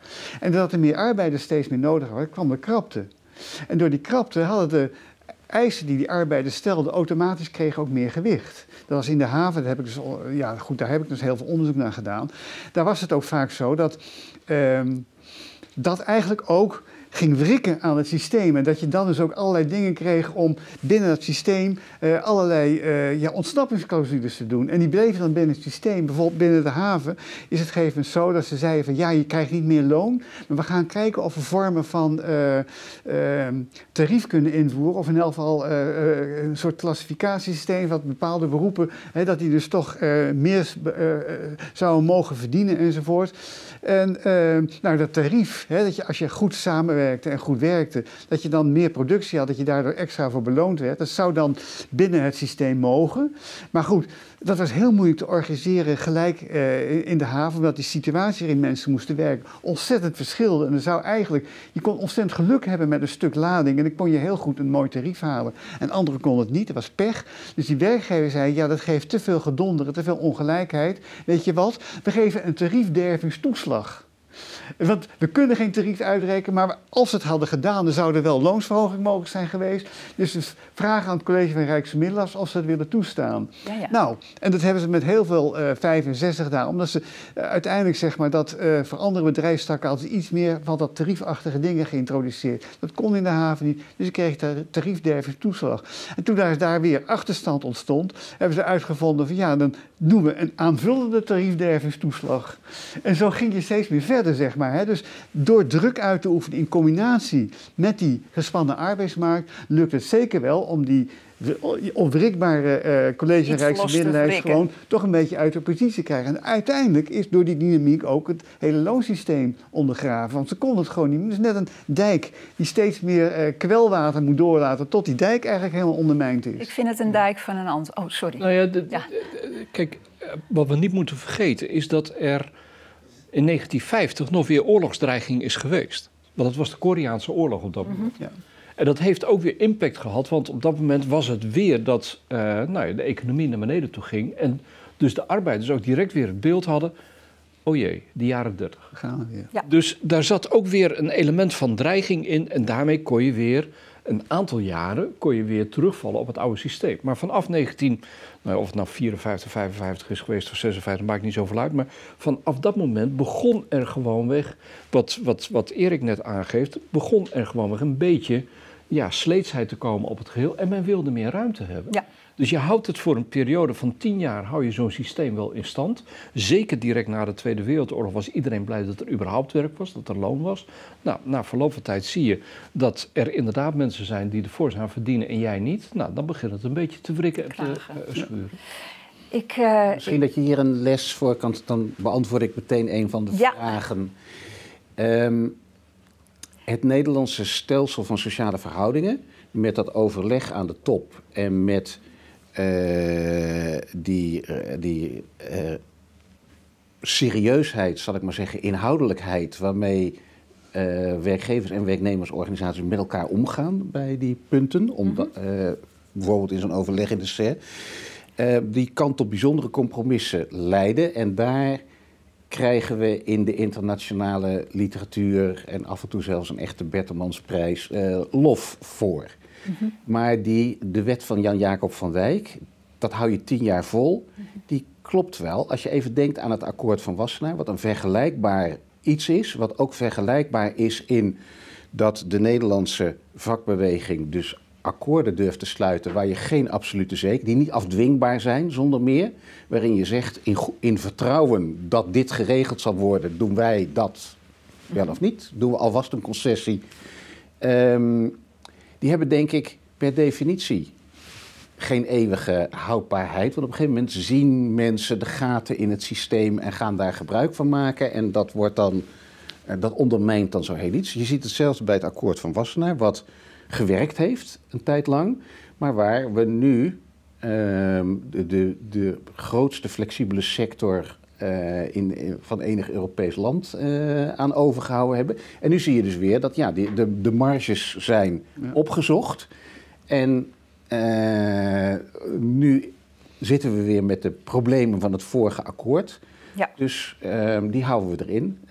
zoiets kan ongeveer tien jaar werken. Nou ja, of tien of twintig je zou kunnen zeggen dat de harde klap die wij in de jaren 70 hebben gehad met de economie, zijn oorzaak heeft gevonden in de geleide loonpolitiek. Hm. Want in de geleide loonpolitiek zijn de loonkosten heel erg laag geweest. Ja. Je hoefde niet te innoveren. Je hoefde niet op dat moment over te gaan tot grootschalige machina, uh, machinerie of industrialisatie van het geheel. En dat heeft ertoe geleid dat de Nederlandse industrie in die periode echt achterliep. Nou, en als je dan, uh, dus de, de, de, de arbeidskosten waren ongelooflijk hoog, omdat er schaarste was op de arbeidsmarkt. En daarmee hebben we onszelf uit de, prij, uit, uit de markt gepruist. Nou, hetzelfde zou je ook kunnen zeggen met het systeem. Want uh, we hebben natuurlijk op een bepaald moment het flexakkoord ondertekend. De voorzitter uh, weet daar nog het een en ander van. En wij dachten echt, ik werkte toen ook nog binnen de vakbeweging, wij dachten echt, dit is een goede greep geweest, een goede zet geweest, want we hebben het gewoon goed in de klauw gekregen om dingen te gaan doen. En als je dan later ziet hoe daar dan weer mee omgegaan wordt, ja, dan heb je het met de goede bedoelingen gedaan. Maar uiteindelijk keert het zich dan tegen je. Dus als je zegt, wat, wat is de les? Dat zijn lastige lessen om zomaar eventjes te trekken. Maar soms doe je iets met goede bedoelingen en heeft het dan toch een negatieve uitwerking. En gaat het ook, blijft het over verbinding gaan, om dat vreselijke woord maar weer eens te gebruiken? Met de realiteit. Maar het is er wel. Uh, ik ga naar uh, een vraag van Floor van Gelder. Vraag aan Erik. Dat, die gaat over de havenstakingen. Ik lees hem nu voor het mm. eerst, dus dat kan iedereen merken. In de jaren zeventig, toen ook veel groeperingen actief. Links van het NVV. Is er een lijn te trekken vanaf de periode vlak na de oorlog? kun je van een langere syndicalistische traditie spreken en had voor de oorlog het NAS hier nog een rol in. Nou heb je. Dat is een, hele lange. Dat gaat, wil je het beknopt doen, alsjeblieft? Ja, ik wil het beknopt doen. Ik denk dat eigenlijk, als je het hebt over traditie van havenstaken, dit geldt misschien ook voor bepaalde andere bedrijfstakken. Kijk, in de haven was het aanbod van werk structureel uh, onregelmatig. Waardoor het eigenlijk uh, moeilijk was om uh, te voorspellen hoeveel arbeiders je nodig had. Dus het fluctueerde ontzettend. Ja. Um, het was heel moeilijk om mensen te organiseren. Uh, dat blijkt ook gewoon de, de, cijfers waren er altijd een stukje lager, behalve dus na de oorlog. Uh, dat betekent ook dat die mensen van die, van die bonden, die wisten gewoon, je moet eigenlijk het ijzer smeden als het heet is. Als het kans is dat jij uh, ziet dat de werkgevers krap zitten, dan heb jij de kans om zeg maar, het werk plat te leggen en ijs even dan op een spits te drijven, zodat je dan een staking hebt en dan geven ze toe. Want ze, hebben ze moeten die lading snel lossen. Er zitten vaak bederfelijke spullen bij, dan heb je ze. Maar in andere tijden uh, lukt het dus weer niet. Dus je hebt eigenlijk steeds een beetje zo'n zo fluctuerende uh, ja, uh, ja, traditie kun je niet zeggen, maar het, ze wisten het ook, die, haven, uh, die, die, die vakbondsleiders in de haven. Van bepaalde momenten kun je beter uh, je gedijs houden, en andere momenten moet je ijzersmeders heten, dus dan moet je er bovenop springen. En de arbeiders wisten dat ook. Dus in die zin is er sprake van de traditie. En het gaat eigenlijk door allerlei organisaties heen, of het nou NAS heet of EVC, hè, of later zeg maar uh, een 400 gulden comité enzovoort. Het is zeg maar meer zo bewustzijn van je moet op die manier in zo'n situatie in de haven opereren. Ik dat meer is. En ik denk dat ik jou meteen nog het woord kan geven. Want het gaat over de beroepsbonden naar bedrijfstaksgewijze uh, bonden. Hoe dat ging, uh, over gevestigde posities en zo. En jij gaf aan dat de EVC uh, ja, bij de eerste of de EVB... Hè, die op, op bedrijfstak... ja. Ja, nou ja, dat was een idee. Dus, dus je had een bedrijfstak transport, een bedrijfstak uh, uh, textiel en, en, meer dat soort dingen. En nou ja, dat was wel ingewikkeld, want ze gingen mensen inschrijven. Die gaven zich, oh, die zeiden dan, ik ben daar en daarvan. En dan kregen we op een snipper papier werd dan de naam en beroep opgeschreven. En dan moesten zij bepalen tot welke bedrijfstak die uh, behoorde. Ze hebben dat op die manier van onderop gebouwd. En dat heeft ook wel enige tijd gekost voor ze dat echt goed op poten hadden. Ehm, maar laat ik zo zeggen, het NVV wilde het eigenlijk ook. Maar het NVV had een hele andere, en de andere bonden, de conventionele ook. We wisten eigenlijk wel dat het beter was. Ja. want dan stond je met één bond tegenover één groep werkgevers in een bepaalde sector. Om, dat gaat ook samen met de cao's. He, met de opkomst van de cao, die is ook sectorgewijs of, of bedrijfstakgewijs. Dus ze mhm. wilden ook op cao-niveau, bedrijfstaksgewijs, georganiseerd tegenover die werkgevers staan. Dus in dat zit, was het een, een, goede zaak in die tijd. Hè. Nu zijn de bedrijfstakken natuurlijk helemaal ja, verwaterd. Dus is het een hele andere situatie. Dus het was wat dat betreft gewoon een, een, een goede politiek. En de NVV was het er ook mee eens, alleen ze konden niet zo snel. Lex. Het paste natuurlijk ook bij uh, de ideeën over de organisatie van de economie en de PBO's om uh, dingen bedrijfstaksgewijs te doen. Ja. was ook toen een verlies. Er wordt uh, ook gevraagd van, is er, was daar geen verzet tegen? Ja. Um, een traditie waar de vakbeweging op voortbouwt, is die van, van geschoolde arbeiders in een bepaald vak. Ja. En je hebt natuurlijk vakken die in allerlei bedrijfstakken worden uitgeoefend. En ja. die organisatie breek je dan op. Als je in oude, uh, als je het blaadje van de Loodgietersbond leest, dan staan er ook allerlei artikelen in van Um, nieuwe vorm van elektrisch lassen. Het werkt zo en zo. Dit apparaat, drie apparaten getest. Ja. En dat lijkt eigenlijk veel meer op uh, zeg maar beroepsorganisaties van artsen die je nu nog hebt. En die uh, een veel hogere organisatiegraad hebben dan. Uh... Eigenlijk geen, geen echte vakbeweging, maar het was meer een beroepsgroep, een beroepsorganisatie, zoals je dat. Nou, je hebt het in sommige sectoren heb je het nu ook nog wel. Het nu 91 is op die manier ook wat begonnen. Als, je, als je naar de artsen kijkt, die hebben ook uh, onderlinge verzekeringen, uh, pensioenfondsen. Die, die hebben dus een heel, heel apparaat. Mm -hmm. En dit is dus als je, als je de, de, vraag is ook van wat kun je daar vandaag mee? Er is natuurlijk een probleem in de vakbeweging. Hoe spreek je de leden direct aan? Ja. En dit zou een weg kunnen zijn. Dat je ook een mogelijkheid van organisatie op vakinhoud geeft waardoor je elkaar op die manier spreekt. Dat moet dan nu een parallele organisatie zijn. Maar... Vakinhoud en arbeidsvoorwaarden. Ja. En... Ja. Overigens was in die tijd ook dat bezwaar wel gezien. Want je had er zeg maar ook in die tijd categorale bonden. En die probeerden ook zeg maar toegang tot de CERT te krijgen. dus je had categorale bonden van heijers, van weet ik van wat. Dus die wilden niet uh, in zo'n bedrijfstakken. Die waren zwarte echt, korps. Het zwarte korps, ja. Die waren gewoon heel erg op hun eigen identiteit gericht. Ja. Dus die tegenstem was er ook toen al. En dan... Um ja, eigenlijk wordt de vraag gesteld in de situatie nu. Daar ben jij net kort op ingegaan, uh, Lex. Hè? Dus ook die dubbele doelstelling, zal ik maar zeggen. Vakorganisatie en arbeidsvoorwaarden. Dat geeft nog geen antwoord op de vraag hoe we dat dan doen in één organisatie als de FNV. Ik denk, hè, dus dat is een mhm. vraag van Dilia. Maar ik denk omwille van de tijd dat ik die dat is een groot antwoord, is daarvoor nodig. Nieuw, uh, nieuw webinar. een antwoord van 10 seconden. Ja. Um, in een digitale wereld moet het heel goed mogelijk zijn om als vakorganisatie verbanden aan te bieden waarin je dat je leden dat soort informatie en contacten geeft. Dat was 10 seconden. En, Knap. Ja, geraakt.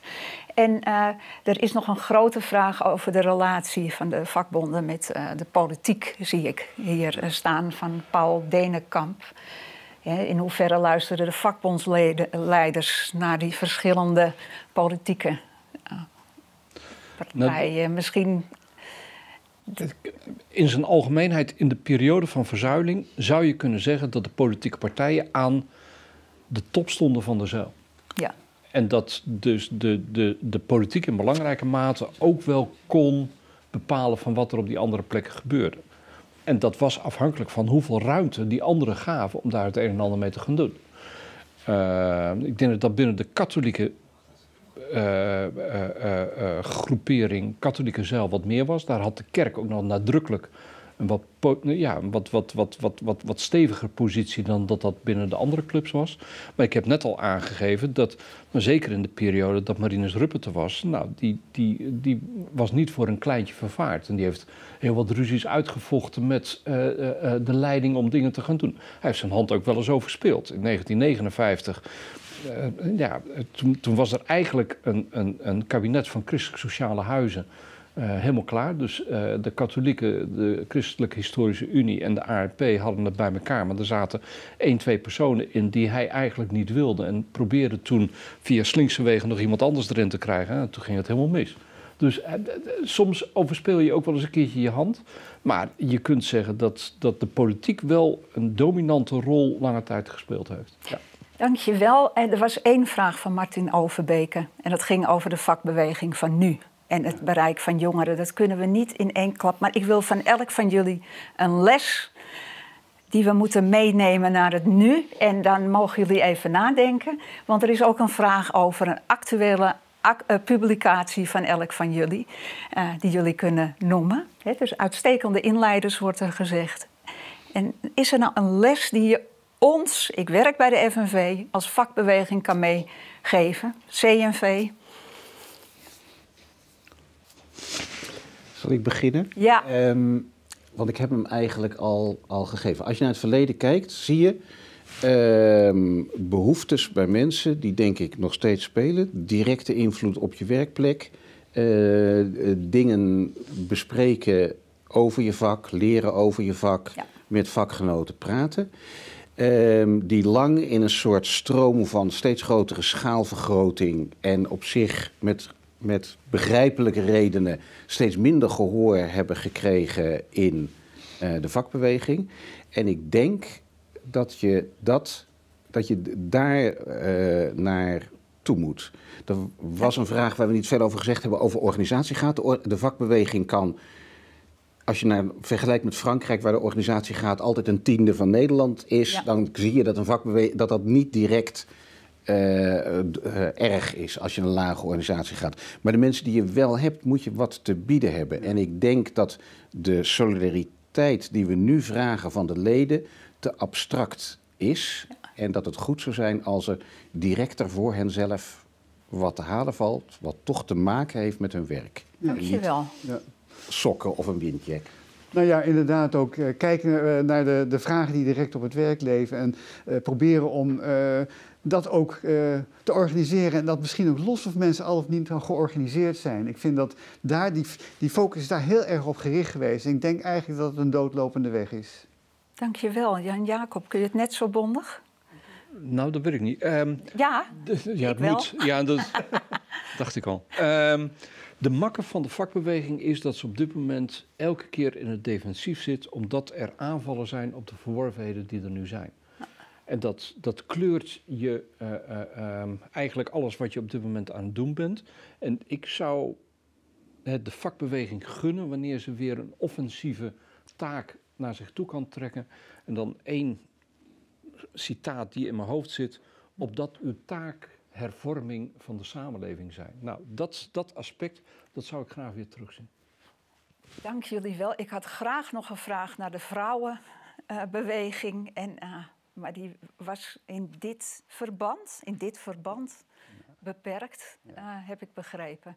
En als nichtje van Berend Blokzeil van de EVC had ik ook nog wel even door willen praten over de Koude Oorlog. Ja. Ook dat kan niet meer. Ik geef Lodewijk het woord.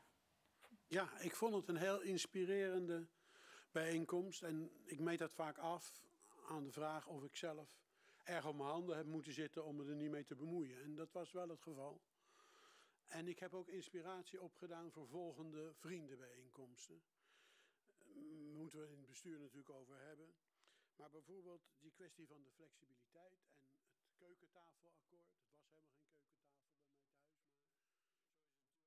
keukentafel thuis. Er zijn mensen die tegenwoordig vinden dat daarmee de flexibiliteit begonnen is. En dat is absoluut niet waar. Dat zijn veel langere lijnen. En het was een al of niet geslaagde poging om die flexibiliteit wat te sturen.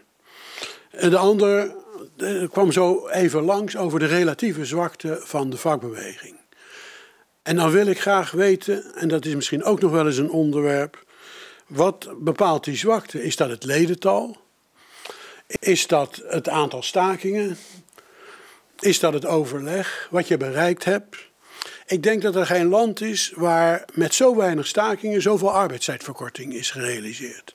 Is dat zwakte? Ik ben het daar eigenlijk niet mee eens. Ik vind ons niet, helemaal niet zo zwak. En dan moet je jezelf ook niet zitten aanpraten. Maar dat zijn onderwerpen, daar komen we nog wel eens op terug, denk ik. Vooralsnog hebben we al een najaarsbijeenkomst in de planning. Ans van Uffelen en Floor van Gelder gaan een najaarsbijeenkomst houden over een onderwerp dat we vorig jaar eigenlijk ook hadden staan. Vorig jaar was het 50 jaar geleden dat de discriminatiebeurs in Dronten werd gehouden. En we gaan nu 51 jaar later, gaan we in het najaar kijken naar de positie van de vrouw op de arbeidsmarkt. Het onderwerp heeft een jaar liggen rijpen, maar daar wordt het alleen maar mooier van. Ik wens jullie allemaal een heel prettig weekend. Het is jammer dat we elkaar niet kunnen zien, maar het zal in het najaar toch waarachtig wel gaan. Dank jullie wel.